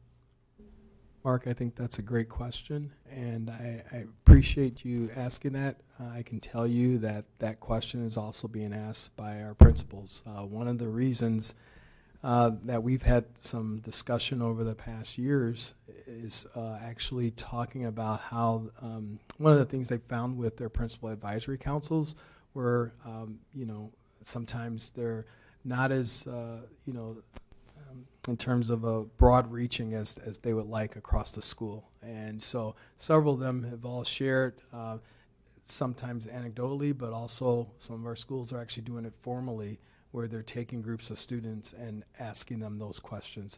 I think, you know, you bring up a great point about uh, sharing, um, you know, what those questions are in a more formalized way. And I know uh, that work is already uh, being started because the principals themselves, the leaders, are asking themselves those questions as well. So I think that's something we'll continue to have dialogue about uh, to see, you know, the impact that that can have and, and what some of those um, good markers could be in which we're, we're gathering feedback.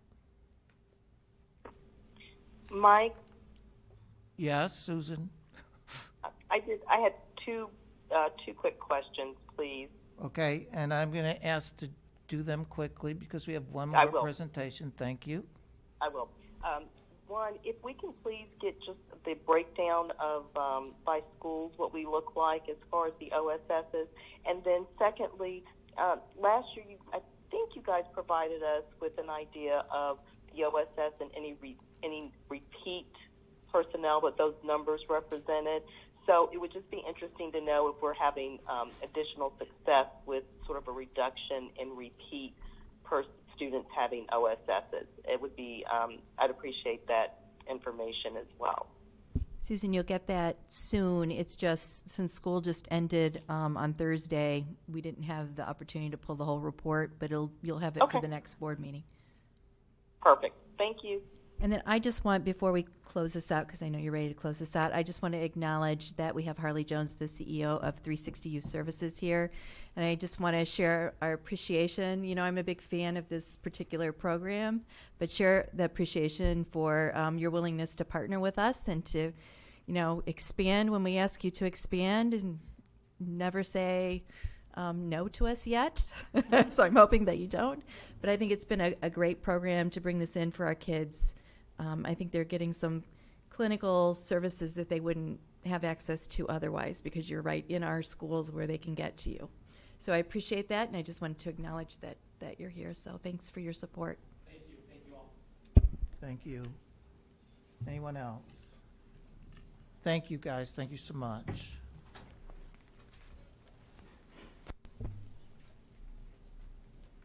We have two pretty heavy reports this board meeting. Now we go to equity. I'm still here. I've got people coming. I will say, that's, Our whole that audience is is quite a coming up powerful the- team you got coming, too.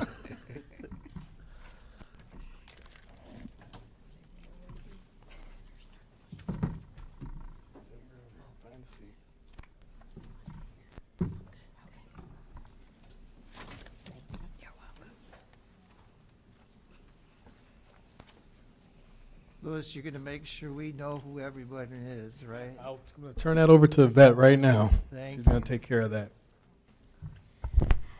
Good evening. My name is Yvette Dubiel. I'm the Director of Educational Equity. Thank you for having us this evening so we could present and give you an update on the District Equity Leadership Team.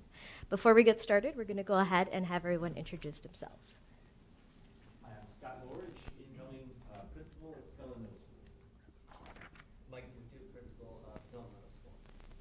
Katie Kulak, guidance counselor over at Metea Valley. Uh, Mike Purcell, Director of Curriculum Instruction for our high schools. Louis Lee. Sydney Polk, third grade teacher at Brooks Elementary. Adrian Morgan, principal of Young Elementary. Brandy Campbell, school counselor and equity coordinator from Waubonsie Valley High School. James Thornton, school counselor, Neuqua Valley. Here reflect this year's work, but it is in no way an exhaustive list of all the things that have been accomplished this year. These are just some of those highlights. As we share any of that information, please feel free to ask questions throughout the presentation. We're going to start off with just a little bit of refreshing history about the work that the District Equity Leadership Team has accomplished over the last five years. Um, back in 2014 15, we conducted a district wide equity audit that was a year long and was both qualitative and quantitative. The results of those audits allowed us to reconvene the district equity leadership team known as DELT, and then we then implemented a district equity implementation plan that was systemic. 15 16, we then elaborated on the work of the DELT team by personalizing coach and mentoring support services to administrator. That involved one-to-one interviews and looking at school improvement plans and offering a menu of options and tasks and activities that principals can adopt that were specifically equity related in their school improvement plan. We also then began to develop and facilitate professional learning sessions that was to be delivered to all staff. This is not exclusive to teachers. This is classified staff. These are bus drivers, custodians, um, even our some of our vendoring staff staff and our vendors.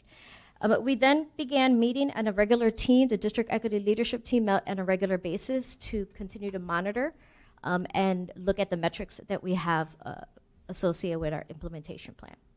At that time, 1516 was when we also began to explore uh, Equal Opportunity School. In the year 2016 17, we began to do almost a part two, if you will, of the equity audit, where we conducted interviews of parents in district level equity groups, and every principal conducted interviews with a handful of parents. We took that information and we connected that with the information that we had in our district equity lead- leadership team to always consider how we could continually improve the work that we're doing. Also in 2016 17, um, we conducted focus groups at each of our high school and each of our middle school with students. We took, and it was not all students, it was a group of students. And we took that information and we shared that with the, each of our administrators. It was also a time where we were out in the community more and sharing the work that we're doing regarding equity. Everything from um, PTA conversations, Naperville Indian community, to even some doctor's office that we're learning more about what equity and social justice is. This was also the time where we began to work very closely with our curriculum directors and our curriculum team to ensure that we have culturally responsive practices. And in 17, 18, it evolved more to personalized coaching for individual staff. This may involve a classroom visit. This may involve modeling what a culturally responsive lesson could look like. And this allowed us to monitor and enhance the equity implementation plan that we already have in place.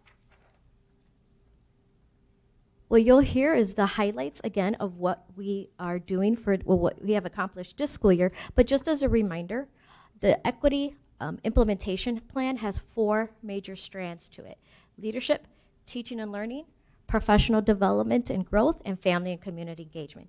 And under each of those strands, we have particular goals. Under leadership, for example, um, I won't go through all of them, but we did some such things as building capacity um, through dialogue with administrators because this is a never ending go to understand equity paradigms, as well as uh, recognizing the celebration and celebrating diversity.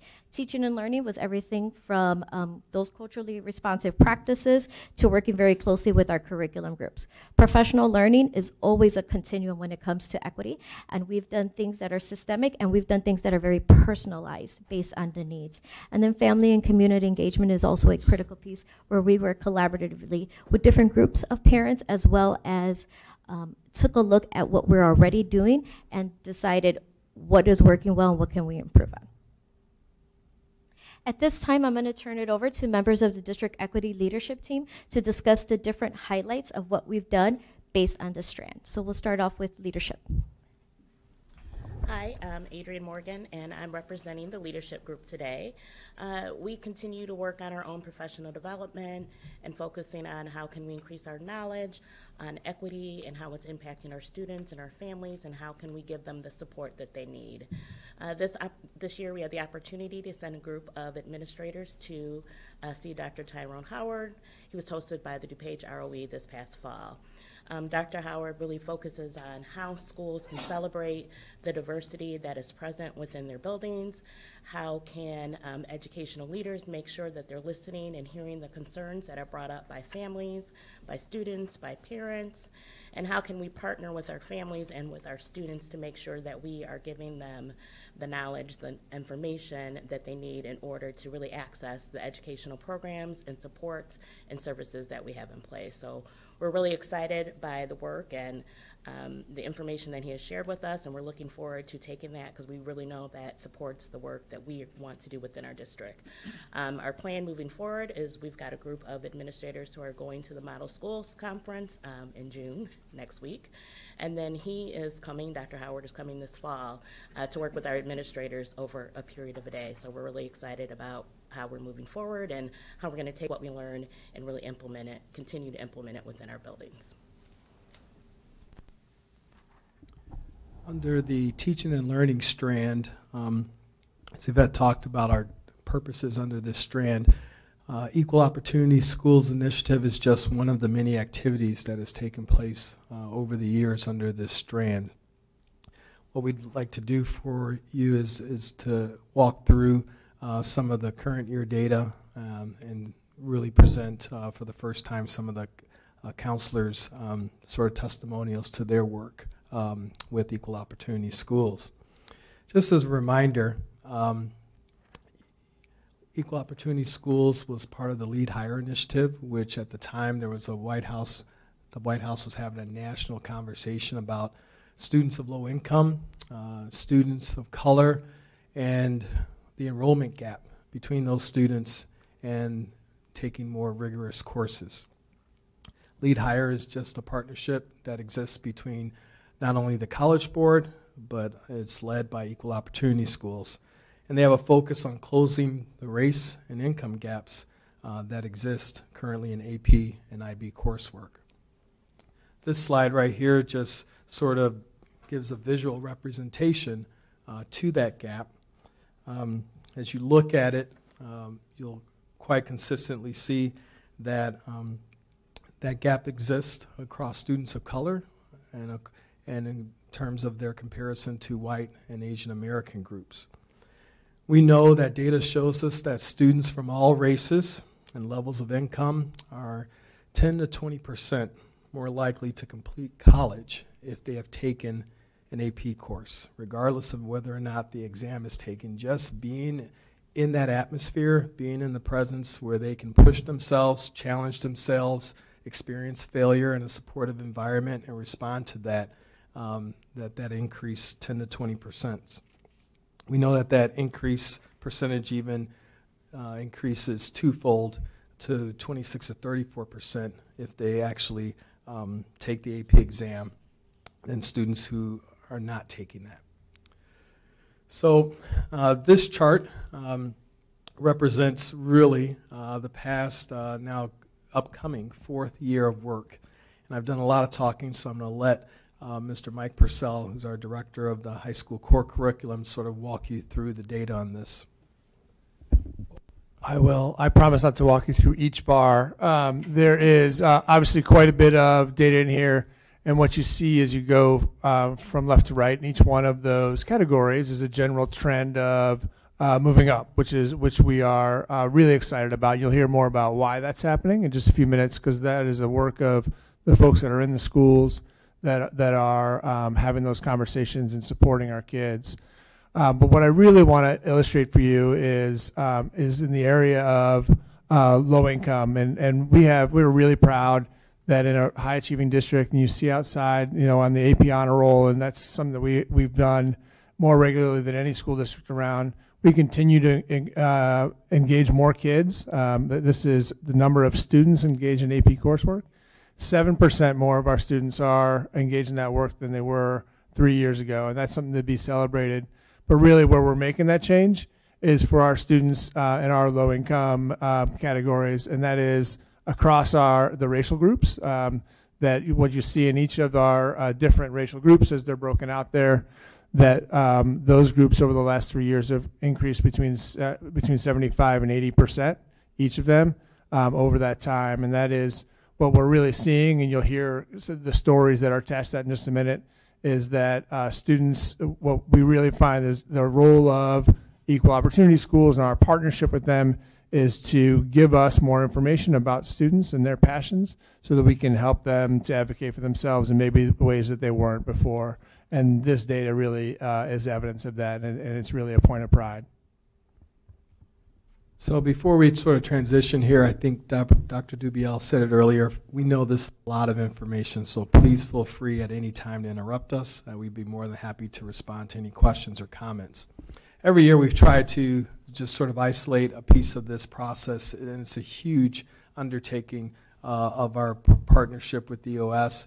And uh, this year, we really want to talk to you, let speak to you uh, about the, our counselors and what their tremendous role has been and continues to be in making sure that not only are we finding these students, uh, but that they're actually putting um, uh, I guess, keyboard to, to tab uh, and enrolling, and then also the support that uh, comes from keeping those students in the course. Uh, so with that, I'm going to turn over first to Katie Kulak, who is one of the school counselors from Metea Valley High School. At Metea um, and all the high schools, EOS provides a survey which we administer to all students except for our PACE and instructional special education students. And that survey is given in the fall, about late September to early October, through the PE and health classes in the building. And the data from the survey, including the level of the area of interest of the type of courses that the students are interested in, course history, grades, and attendance are used to identify the potential EOS students. An example of a student insight card, which is next, shows their reported learning mindset. Um, it also, on other parts of the card, have barriers and comments about themselves. The students self report. The results are discussed among our internal EOS team at Metea Valley. The selected kids are assigned to a staff member on our EOS team, which consists of either their reported trusted adult, a counselor, or a staff member who has a connection with the student. We then meet individually with each student to discuss their survey, their interests, and enrollment. When I meet with students, we go over their survey, we talk about their successes. At that time, we call home to talk about the AP classes so the parent or guardian as well as the student are learning the same information at the same time. We also give them a letter to take home, congratulating on them on their accomplishments. Um, Additionally, at that time, we talk about a summer bridge program that we offer that will be talked about later. But the teachers who teach that summer bridge program for the AP kids in our building, um, we hand schedule those kids into those same teachers' classes for the upcoming school year so they maintain that connection uh, with them for the re- remainder of the school year. Next, we'll hear from Brandy Campbell, uh, school counselor, uh, 504, core to everything. Equity you know? coordinator. uh, yeah, all of her titles uh, from Waubonsie Valley High School. Thank you. Um, in January at Waubonsie, we hold an EOS AP enrollment day. Students are selected to attend this event based on the outreach list that we receive from EOS. It uses information from the fall EOS student and staff surveys. The list identifies students that are potentially ready to take their first AP class based on GPA, teacher recommendations, and student growth mindsets. Counselors and the EOS team review the out- outreach list and remove students we believe are not quite ready for an AP class at this time based on study habits, school attendance, or social emotional concerns.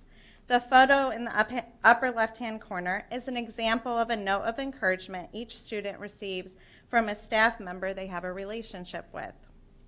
Staff members select the students that they would like to write a note to and hand deliver those cards in the days leading up to our EOS AP enrollment day. The purpose of the card is to encourage the students to challenge themselves academically and to consider enrolling in an AP class. Students are sent an invitation inviting them to meet with the principal, counseling team to learn more about our AP courses. Students are sent passes to attend the event during their PE class. They arrive, are greeted in, sign in, and of course, snacks are provided. They are also given AP courses that are available at Waubonsie and the supports and resources that we have for them. This year we had an 85% participation rate. 186 students were invited to this event and 158 attended. Students that were not able to attend later met one on one with their counselors. We begin the meeting by showing a video of prior EOS students who have taken their first AP um, class and they share their experiences. You'll see a clip of this video later in our presentation. As pictured on the top right, Principal Stipp, Ryan Van Campen, our Director of Guidance, and I share a presentation with the students about the benefits of taking an AP class.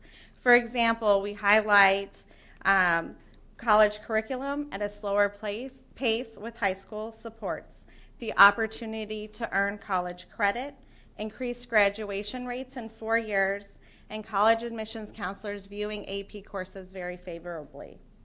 Counselors are in a U shape, which you can see in the bottom picture um, around the back of the room. After the meeting, the presentation is done, counselors meet one on one with the students in their caseload to enroll them in their fall courses immediately. Of the 186 students that we invited, 118 of them enrolled in their first AP class. That was a 63% um, enrollment rate. Most of the students that did not enroll in an AP class did enroll in dual credit or TCD. We have found that this event um, fosters positive peer influence and contri- cont- contributes, excuse me, to the success of the event. After these students enroll in their AP class, we tell them that they will be invited in September to a first time AP student uh, celebration. This event is for all first time AP students that are juniors and seniors, not just our EOS students. The event is intended to offer support, resources, encouragement, and community around the time that our EOS survey shows that students begin to think about dropping their AP class. It lets students see and know that they are not alone and to learn study tips and resources from each other. The feedback from our first time EOS AP students has been overwhelmingly positive. One of my favorite quotes from our spring EOS post survey is I pushed myself to the limit, challenged myself in ways I had never done before, and I'm very proud of myself. Waubonsie Valley underrepresented student. Finally, let's discuss the process of maintaining. Uh, Mr. James Thornton from Neuqua Valley High School, school counselor. Let's see if I can balance this on my knee. No, I think we're good. Um, at Neuqua Valley, as is true throughout the district, uh, genuine engagement with our students is very, is very high on our priority list. As counselors, we are committed to making sure that each student understands their journey is not a solo expedition, but a joint collaboration that includes their parents, their teachers, and their, and their counselor. As with all students, we communicate that support is available from the start of their AP journey until the very last exam has been taken. In order to maintain a consistent connection with our students while providing the support each student needs to be successful, one of the main tools used is our weekly progress report. Each week, a report of students with D's and F's is produced and delivered to each counselor electronically. Counselors review the report as part of a regular procedure to identify, identify students in need of additional supports. We may not jump immediately if we see a low grade, understanding that a bad exam day can create a speed bump along the academic road. But if a student appears a second week in a row, we will send a pass and sometimes send an email to that student. We want to make sure that the student has an active plan in place to bring the grade up or help them put a plan into effect while also helping them to understand all of the support options available to them. Most students know that they can access a teacher through our academic resource centers in each subject area. But the one thing we have done uh, for our new to AP students at Neuqua Valley is hand schedule their stu- those students so their lunch coincides with the AP teacher's supervision period. If a student has elected to take multiple AP courses, we try to match the student with the teacher of the more complex class for that student. For example, if a strong math student has chosen to take AP US History as well as AP Calculus AB, we'll try to schedule the student with the AP US History uh, teacher supervision period if, if at all possible. Uh, we feel that direct contact with their own teacher provides a level of security for the student to endure the rigor of the class as well as the initial shock and lack of success that may be experienced at the very beginning of their AP journey. We also work with students and teachers to put together plans that help the student overcome the potential need to want to drop the course, as those feelings are reality for some students. Whether scheduling specific before and or after school sessions with the AP teacher, while also adding additional check-ins from the counselor, we try to support these students' needs so their experience, although challenging, is a worthwhile experience that may lead the student to continuing to take additional AP courses the following year. Um, with her permission, I was able to add a clip of one of my uh, recent graduates, Miss Reagan Young. Uh, she finished with a 3.41 grade point average, but as you can see from her, com her comments, uh, taking an AP course as a senior provided the preparation she felt she needed before moving on to post-secondary education. Uh, of course, as with most students, the realization didn't occur until the end of her journey, but she did realize that this year's experience was a benefit and not a liability. She was a consistent student throughout her Neuqua journey, but admitted she was comfortable with our college prep curriculum as she felt it was rigorous enough. Uh, when we met to discuss adding an AP course to her schedule, there was some discomfort and some pushback because of the amount of work she expected to receive. She had taken AP Human Geography as a sophomore, so she had an idea of what to expect. And although she enjoys social studies, she was unsure of trying to take a class like AP Government and Politics as a senior and spent 15 minutes trying to politic her way out of the class. she just felt trying to balance the AP class and be a member of the school's soccer team would be too much, especially during the second semester of her senior year when soccer the AP exam, and senioritis all collide. I was pleased that Reagan trusted me enough to share her concerns, and although I did understand her reasoning, I asked that she continue to trust the process as well as her, as well as her own abilities. Being able to be transparent with her, letting her know that I would, be, I would complete the journey with her and that I believed she was more than capable of finishing what she started may not have been the response she was looking for, because she really did want to drop the class uh, at the semester when she had accrued the, the graduation requirement for government. Uh, but I was happy to see that uh, as I proctored the AP government exam, she was one of two or three students of color seeing her AP journey through to fruition. And to conclude our section, I just wanted to uh, let the board know of some ongoing supports that we have uh, for students uh, that, through through this initiative. And um, this summer, starting in a few weeks, at each of our sites, we'll have the AP Summer Bridge. Katie talked about a little bit. Really available to all junior, senior, first-time AP takers, uh, whether they're identified through the EOS process or self-identified or through their parents or a counselor or teacher. Uh, really just to say, hey, you're kind of taking on a new challenge, and let's help you to smooth that path. And uh, we staff that with uh, with our AP teachers, and and then um, and then really do some things about belongingness and um, some of those things about the bumpy path that uh, that James was just talking about, and just getting folks ready for those uh, for those conversations. We also during the summertime will have a handful of our teachers that are uh, teaching those classes either for the first time or um, have been doing it for a while. Um, engaged in some summer learning activities to sharpen their saw and to share their best practices with other folks and, and learn from them as well, um, both on the um, on the content but also the instructional side that comes out of those institutes something we're really excited about for next year is the those insight cards that you've seen. You've seen those before. Um, we have worked with our technology team in order to integrate those into our school information system. So those can be on demand uh, for our teachers and our counselors to see anytime they're having a conversation or they, they want to think about uh, sort of all of that information that is all in that insight card, which is just different from other uh, information that we would have in the SIS.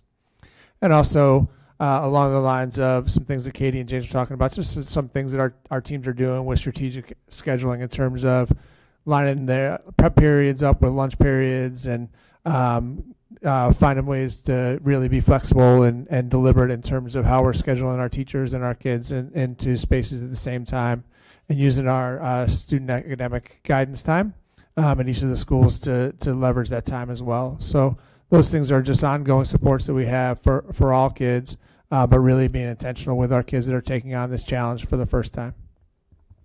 As Brandy mentioned, we'd like to just show a very short clip of uh, just some of our student voices and testimonials of their own experience in taking an AP course.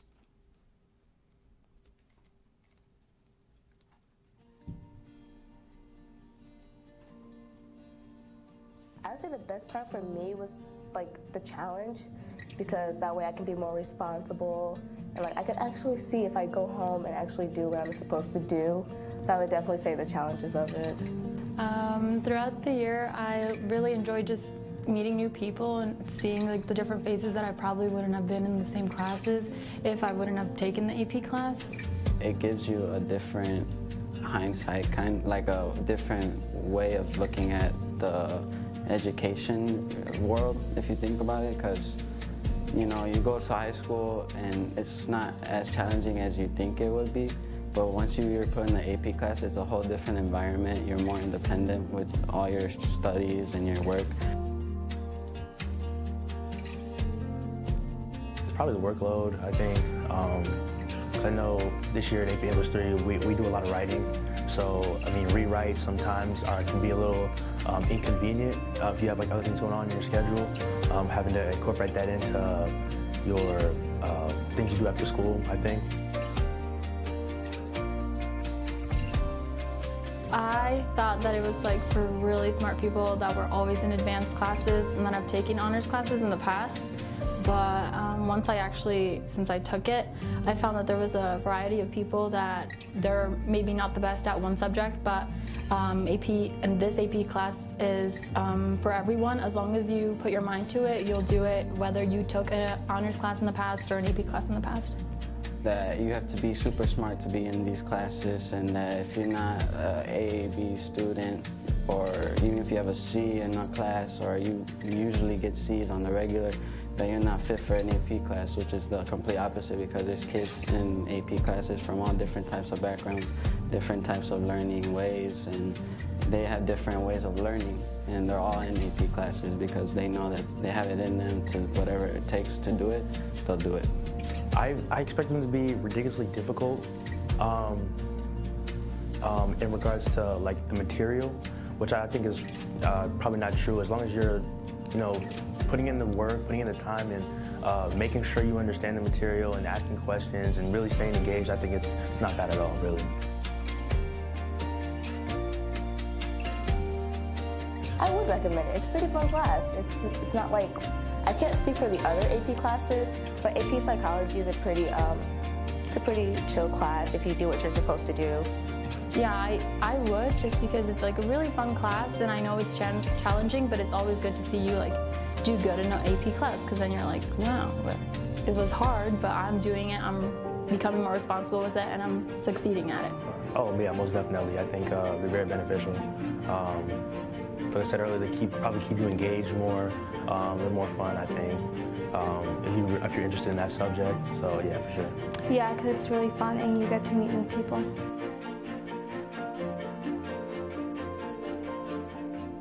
I do because I could have had more experience. I sometimes do, just because uh, I would have liked more experience with it, just because it is a college kind of course and it is um, an environment like it like that. Because the teacher may not be um, super individual to you. She won't come to you and ask you for help. Um, if you need any help or anything, it's not very personal, but you can always approach her at the end of class, the beginning of class.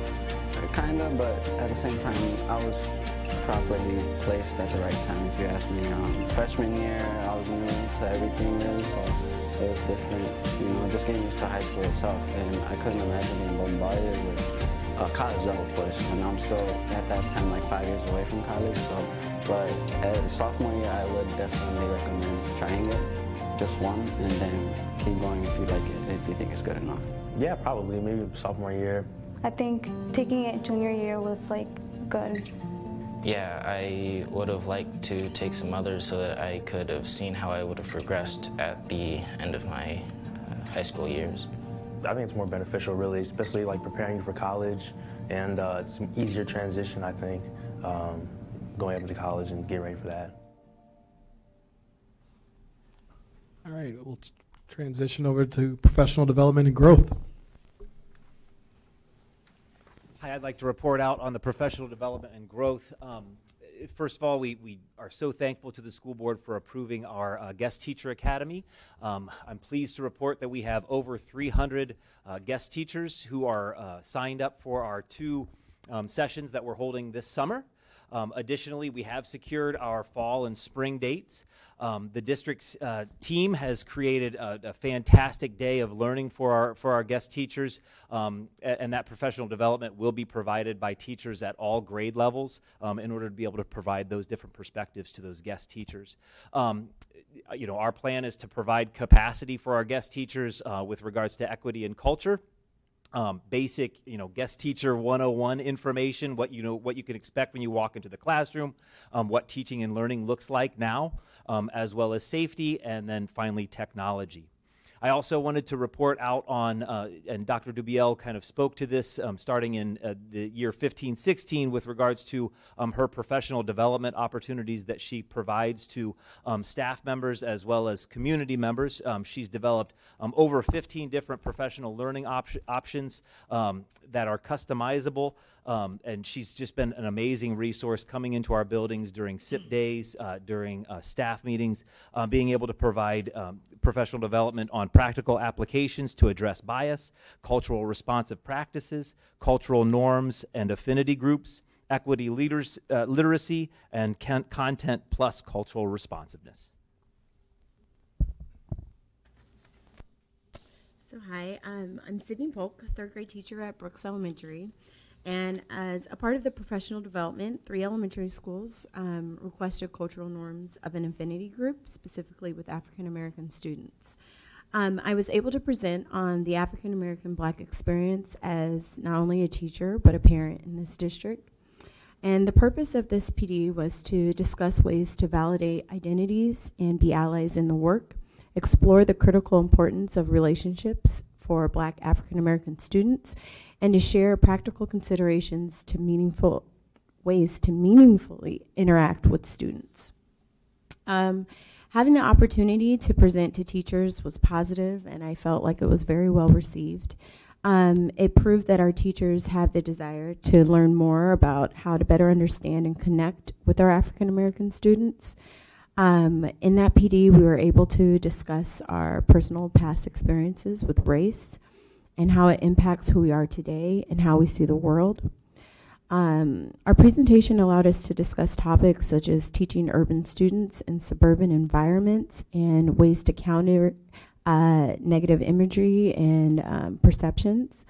It also provided teachers the opportunity to, to discuss scenarios that can happen in the classroom and how they would respond and the race can be a, an extremely sensitive topic.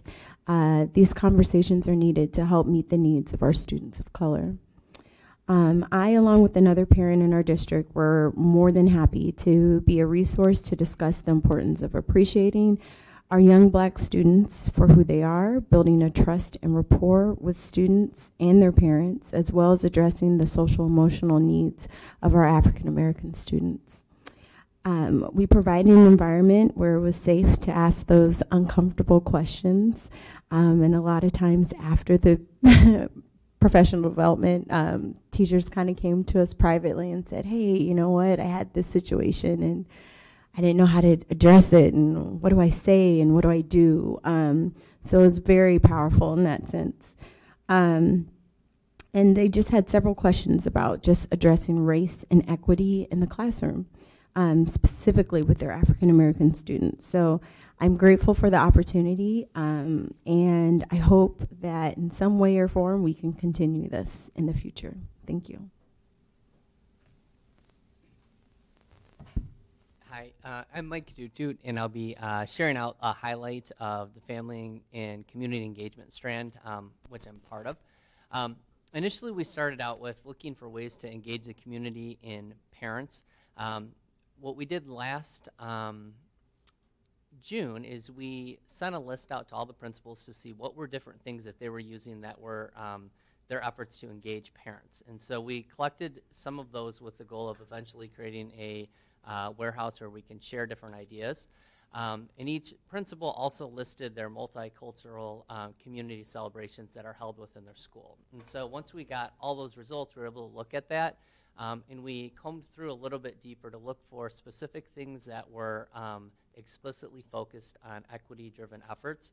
Um, so we went back to the drawing board with our, um, our General Assembly, and we created a list of different things that were very, very specific to that equity piece. Um, our work began uh, kind of on a primitive level, um, but that actually ended up working out really well, where we could look at the different types of uh, family engagement and what each response was. Um, they're color coded so you can see if it was elementary, middle school, or high school, and the schools then located or listed their name on there so you could see what school it was.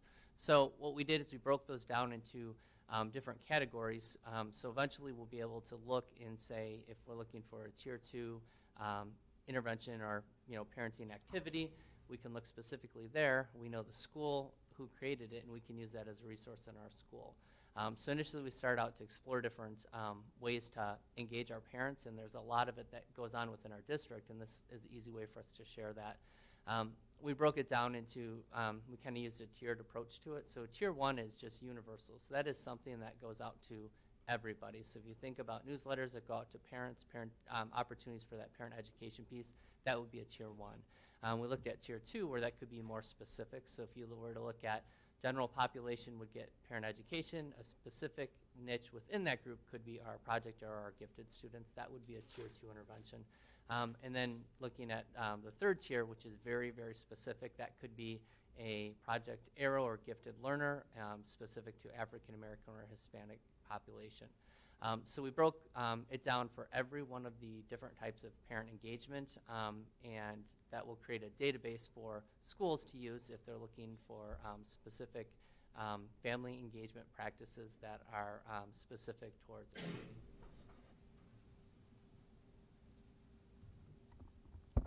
So as far as future work, not only are we going to continue this all the systemic pieces of the equity plan, and just a reminder, you only received a glimpse of what we've worked on um, for this school year. But we're going to continue that systemic lens as well as that personalized lens. So providing in-depth support to our staff and our students. Our staff could be that personalized PD, that conversation, and then of course, as um, some of my colleagues here shared, um, having conversations with students as well. So they know that um, we're always trying to move that equity needle forward. Questions? Ms. Grover, want to start? so um, I was thinking about the EOS. I think it's a great program. Sometimes it's difficult as a student to think like the kids were talking to go from, you know, middle school regular classes suddenly you take an AP co course. It just seems so far fetched the thought instead of doing a survey in ninth grade, have you considered doing a survey in eighth grade Um, that way, you can inform the parents during that transition period. Hey, we're thinking about your kid joining AP, and they can kind of get the ball rolling. Maybe take an honors course freshman year so that the jump doesn't seem as drastic. I'm smiling because, and Dr. Sullivan will remember this, three years ago at our onboarding meeting with the OS, you know, we asked them to save us from ourselves. And I think within 10 minutes of meeting with them, that was our question to them. Uh, do they have an instrument where we could start surveying our, our students right away in middle school? And, you know, one of the things that they told us was obviously, you know, EOS continues to right now have a focus on the high school level. Uh, they have heard from a number of districts about expanding that reach, and I know they are investigating that. But I will tell you some of the activities that we have done within the own, our own district is one, first um, present to all levels about what EOS is, what it's about. Uh, that was done at one of our General Assemblies meetings um, a, over a year ago with all of our principals. And really, the whole focus was what you just said in your question. Really, was how do we start preparing our students even more so to know that you know once they're um, getting to the high school level, but even at the middle and elementary level, you know, pushing them, they're capable, uh, and to prepare them for those challenges. And I think. Uh, you know, having those um, conversations uh, with the leaders in each one of those buildings has helped to push that type of conversation forward.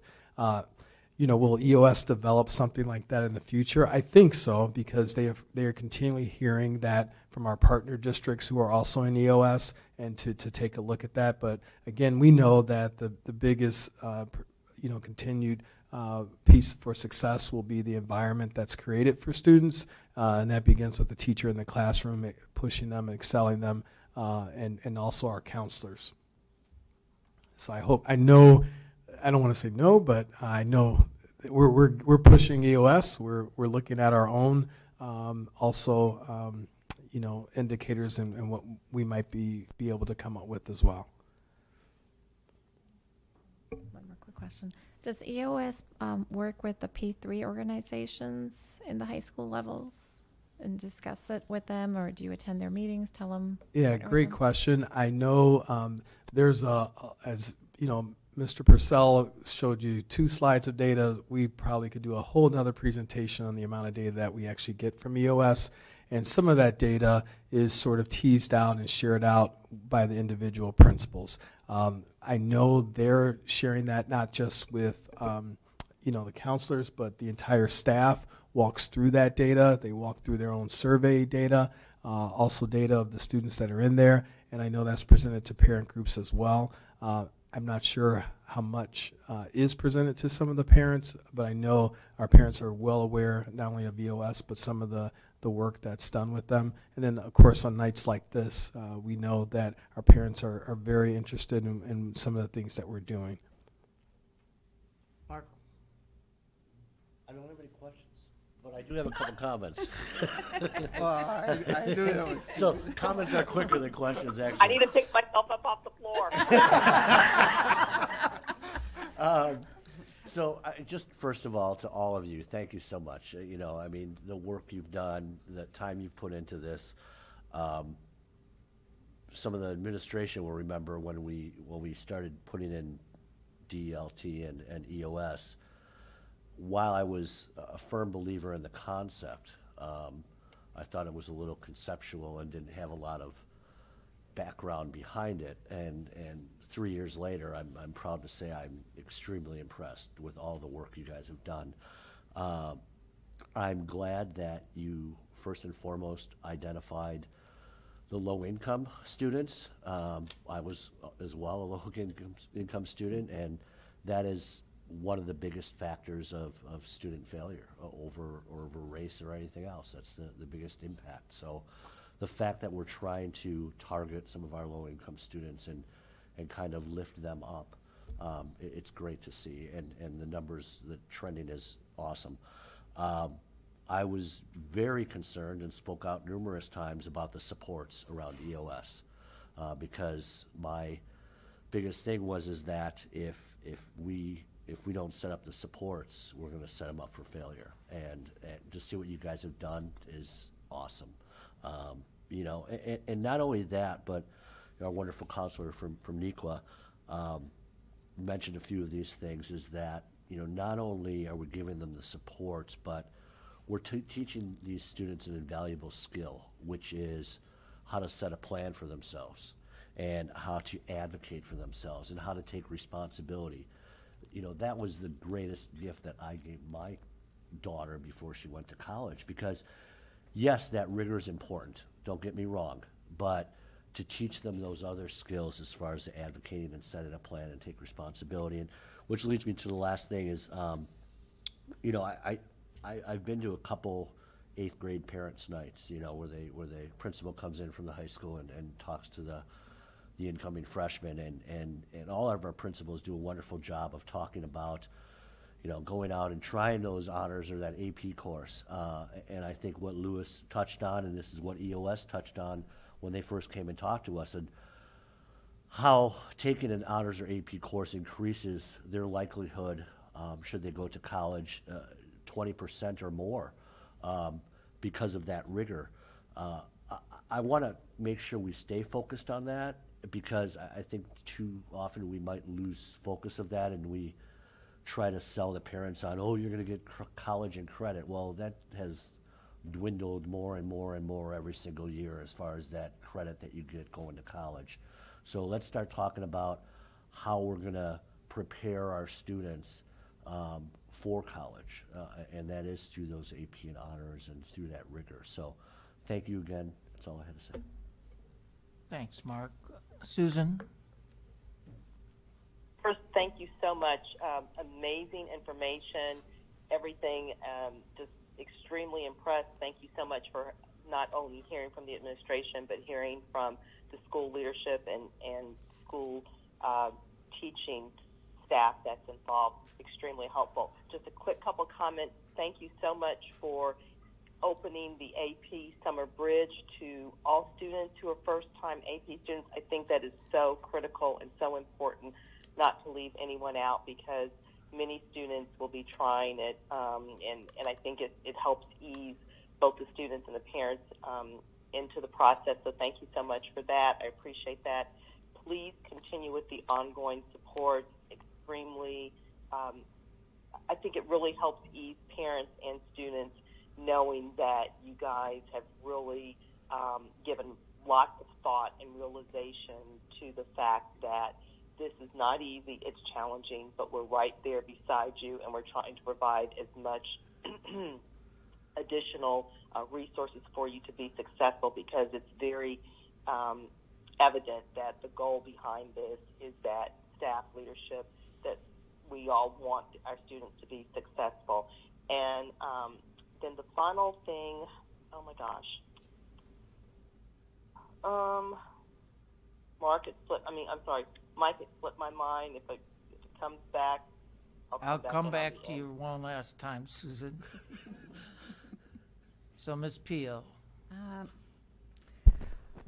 Well, I- I've been reading this book called um, Late Bloomers. I don't know if anybody's looked at that lately, but it um, has made me, I keep thinking about it as you guys have been making this presentation because it talks about the, you know, later development of our brains and, you know, until almost 26.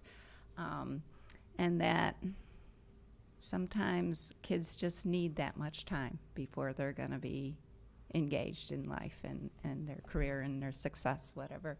Um, but it seems like middle school is the time when a lot of them go away, and it takes, and they don't come back out of it until after they've graduated from high school. Um, so I'm wondering about. It, it seems like the AP is an awesome program, and you can see it, and I can think if boy, I wonder if somebody had ever told me to do that in high school, would that have changed my my projection in life? But um, besides that, what is there to like get the, a student engaged? What and what and I know it has to be sometimes measurable, and the AP is just this beautiful way of measuring something. But are there other things that we're looking at, and, and especially I'm thinking like Natasha, um, the middle school level, that we can say, hey, this is a kid who needs to be more involved in this. I would say um, in the beginning of the year, we, with our eighth graders, we start out with a career unit um, in which we've had uh, a lot of people have come in. We've created a really good program to get kids to start thinking about what do you want your future career to be and what do you need to be able to get there. And so that starts out pretty early in the year. Um, we start talking about recommendations, believe it or not. It was actually in one of our promotional speeches by one of our students on that very first day about um, what is um, that course recommendation process going to look like for that following year. What I've seen is um, a change, I think, in I think what we would typically look at maybe five years ago, where kids met a certain mark in order to be into that, um, you know, put into those honors classes. So you'll have kids that might not meet that on paper, but we know that is still within them. And so you'll see a lot of kids that um, are shocked when our teachers are talking and you know to them during advisory, saying, you know, I think we need to see this and that, and then we'll put you into that honors course. And a lot of them are really surprised that they're a student that would be recommended for it. Um, what's kind of cool is once you see, you know, a couple years down the road, the kids that actually did that are like, well, I was scared at first, but it wasn't that bad. And it really does set those kids up, I think, for, um, you know, those AP classes in their junior or senior year. I think our way of going about it has been very different. It's a more personalized approach um, to getting to know that specific kid and that strength. And while it might not be, you know, all honors courses, it could be one. And a lot of the kids that, you know, our eighth grade teams work with are kids that may not have thought that that was some potential that they had had, but it, Mhm. regardless, it is still within those kids. And I think our eighth grade teachers do a good job of pulling that out. I just quickly add to that through the initiative, the World of Work under Kathy P's Mm, leadership that's happening. Those students are having those conversations right now about what their future careers are going to be, and naturally that rolls right into what Mike was saying. Well, how do you get there? What are some of the coursework and how to prepare yourself for the rigor of that career that you're, you're or work that you're thinking about taking on? So I, I think it's going to be continue to become more systemic right now. Yeah. Okay. Yeah, I remember the world work. So that's awesome. I guess I was looking at too, um, like outside of academics. You know, how do we hook them? But it sometimes it's not the academics that gets a kid hooked. It's music. It's arts. It's whatever. Um, so I'm just wondering about those kind of things. Anyway, but I I do appreciate this is like so much. And we have the other addition to the what you guys are doing and still doing and working on and coming up. So um, yeah, we know this is just a glimpse. Mike, I remembered what I needed, what I wanted to say. Okay, Susan. The stu- the thank you so much. The student um, the student testimonials are so important. Definitely consider as you are approaching the parents and sharing with the parents, sharing with the students as they're moving, you know, from eighth to ninth grade or ninth to tenth, the AP recruitment day. Please consider, and you may be doing this, but please consider having students there sharing some of the video that you shared with us with the student comments, because I think that speaks volumes for potential students and parents to hear from students who may have been sitting and thinking exactly what they're thinking at that moment and how they, um, you know, appreciate and are so pleased that they tried something that was challenging for them. Uh, couple comments, a couple questions. First of all, thank you, Yvette, for your service to District 204. Um, we're going to miss you as you go to the Regional Office of Education. Uh, you've truly made a difference. To this whole team, you guys are awesome. You guys are awesome. I wish I could be, I want to be part of this team. Some of these people are supposed to be on seventh grade right now. so I just want to mention. I, I'm here. giving them a star on their head. They're doing, you guys are doing great work. And what was good about this presentation is that you gave us tangible, real life action. Not just like, yeah, yeah, yeah, yeah, yeah. This was like real stuff. So I really appreciate it, and I encourage you to push the system. I like, you know, I'm hearing that a mom and a teacher is teaching our students and telling them the real story. We need to be pushed. We need the real story. So thanks for doing that. If you need permission, I'm the board president. I don't know if I have any power whatsoever. I One don't- seventh power, yeah. I have like zero. But nevertheless, I give you permission to push the system. It's important that we do that. That's how we get better. So, thank you for all that. Uh, Yvette was right, it's a glimpse. There's an implementation plan that's like six pages long. Thank you for having something down on paper. There's a lot of work to be done. There's some ongoing stuff that's going on, but equity work is a process and it is ongoing, so thanks for all that. My two questions is, number one, how are we doing with our elementary kids and middle school kids in Project Arrow? I know it's not EOS, but it's Project Arrow and Accelerated Math. Back in the dinosaur days when I was practicing, we were much over-reliant on a test and that excluded many kids. So what are we doing better, I hope, to allow more kids to participate in these higher level classes at the elementary and middle school level? Well, I guess I can kind of answer that. um, well, still now they do still have to test in, and um, it, it is we're pretty strict about you know the cutoff to to get in at at this point. Um, I do agree with you. Just um, kind of when we're talking about kids um, wanting to do AP later, um, some of that confidence comes from when they're little. We know that, right? Um, and being able to build that confidence early is important so that when they do get to middle school, AP doesn't seem so far fetched.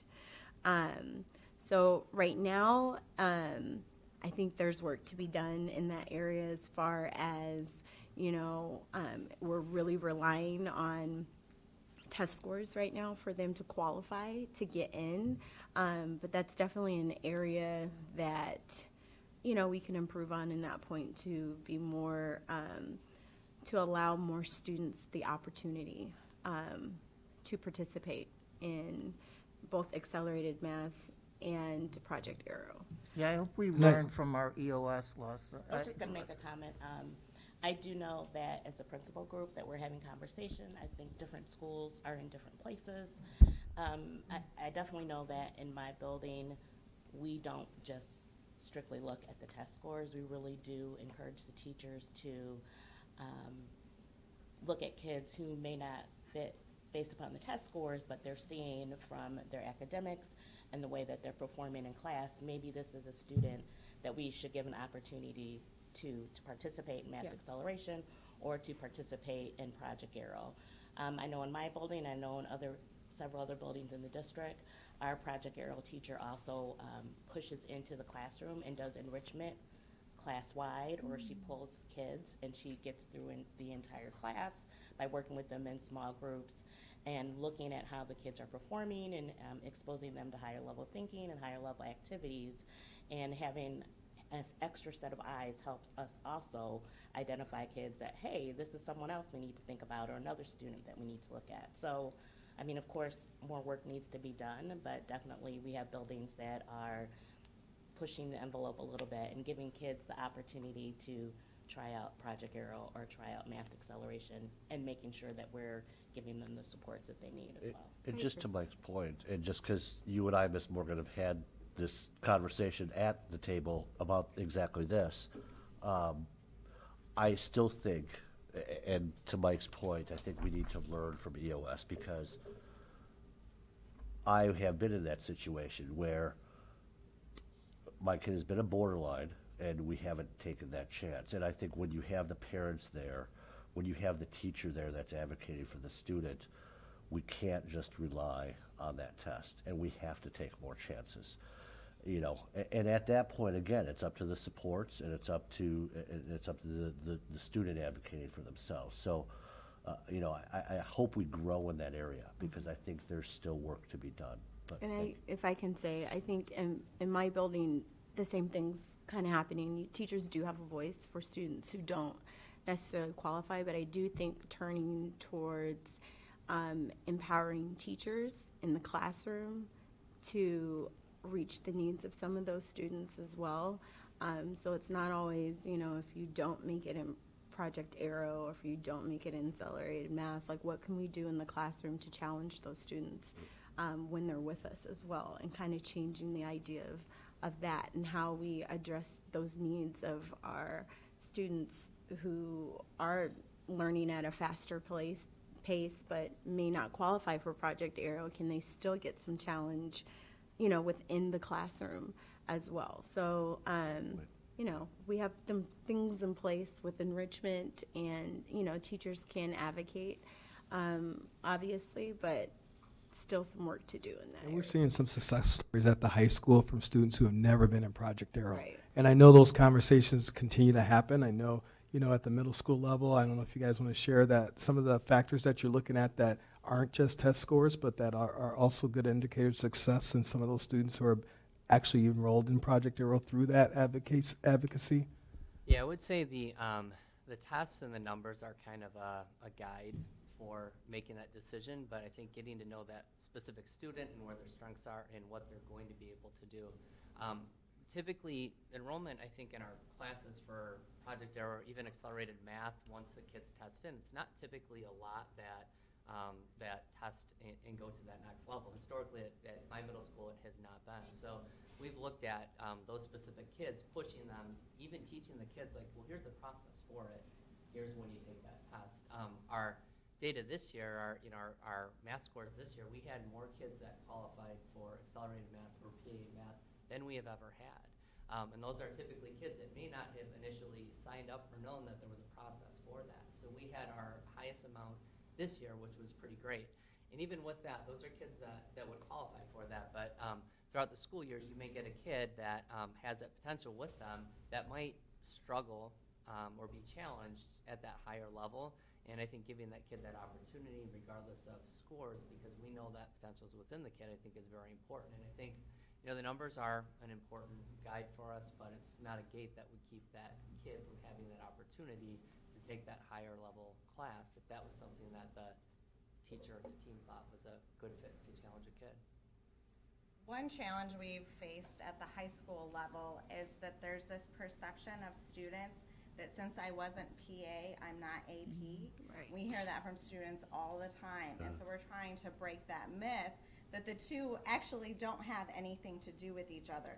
Just because you were PA in elementary and middle school doesn't mean you're automatically AP or doesn't mean you weren't you're excluded from it. Um, so we are constantly trying to kind of reprogram that thinking, but it's definitely a challenge and a barrier we're seeing at the high school level. And that, and that is one of the pieces that we are incorporating in the middle school level, when we're having those conversations with parents who are, you know, why didn't, why didn't my child make, you know, PA? Well, uh, your child didn't make PA, however, that doesn't mean that they're not going to qualify for AP. So we are trying to, to break that, down that barrier as well. Um, and then just to kind of expand even further, um, differentiation, differentiation, differentiation, for the higher students, for the middle students, as well as for the lower. One last question. We did an equity audit in 2014-15. Um, It appears we did a mini audit. I know your first year, that's what you did all year, and it- it- it's quite an undertaking, but when do we go back to this and look at the data that we collected in two- four- 2014, and then do some kind of comparison data where we're at now? I think there's definitely opportunities to revisit that equity audit and then consider what we can do better. It's always a continuous process. So we've had conversations about what that could look like and um, whoever replaced me and how I can still support um, the district, um, since it is in DuPage County, um, to do that so that it continues and we continue that important work. Any other further questions? Thank you so much, everyone. Enjoy your summer. Yes. You're dismissed.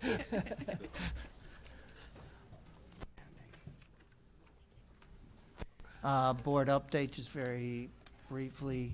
Uh, We had a board meeting on June 1st in which we reviewed district goals. Um, We're finalizing with the administration what those goals would be. In addition, the board looked at our board norms. Um, We looked at our board evaluation sheet. What else did we look at? Uh, Board goals.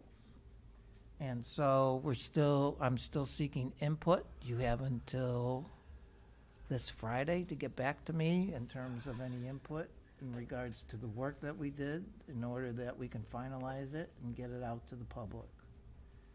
I think that's all I have. Um, Do I have a motion to? Motion to adjourn. do I have a s- Second. Oh, We have a motion and second, all in favor? Aye. Thank you. Aye.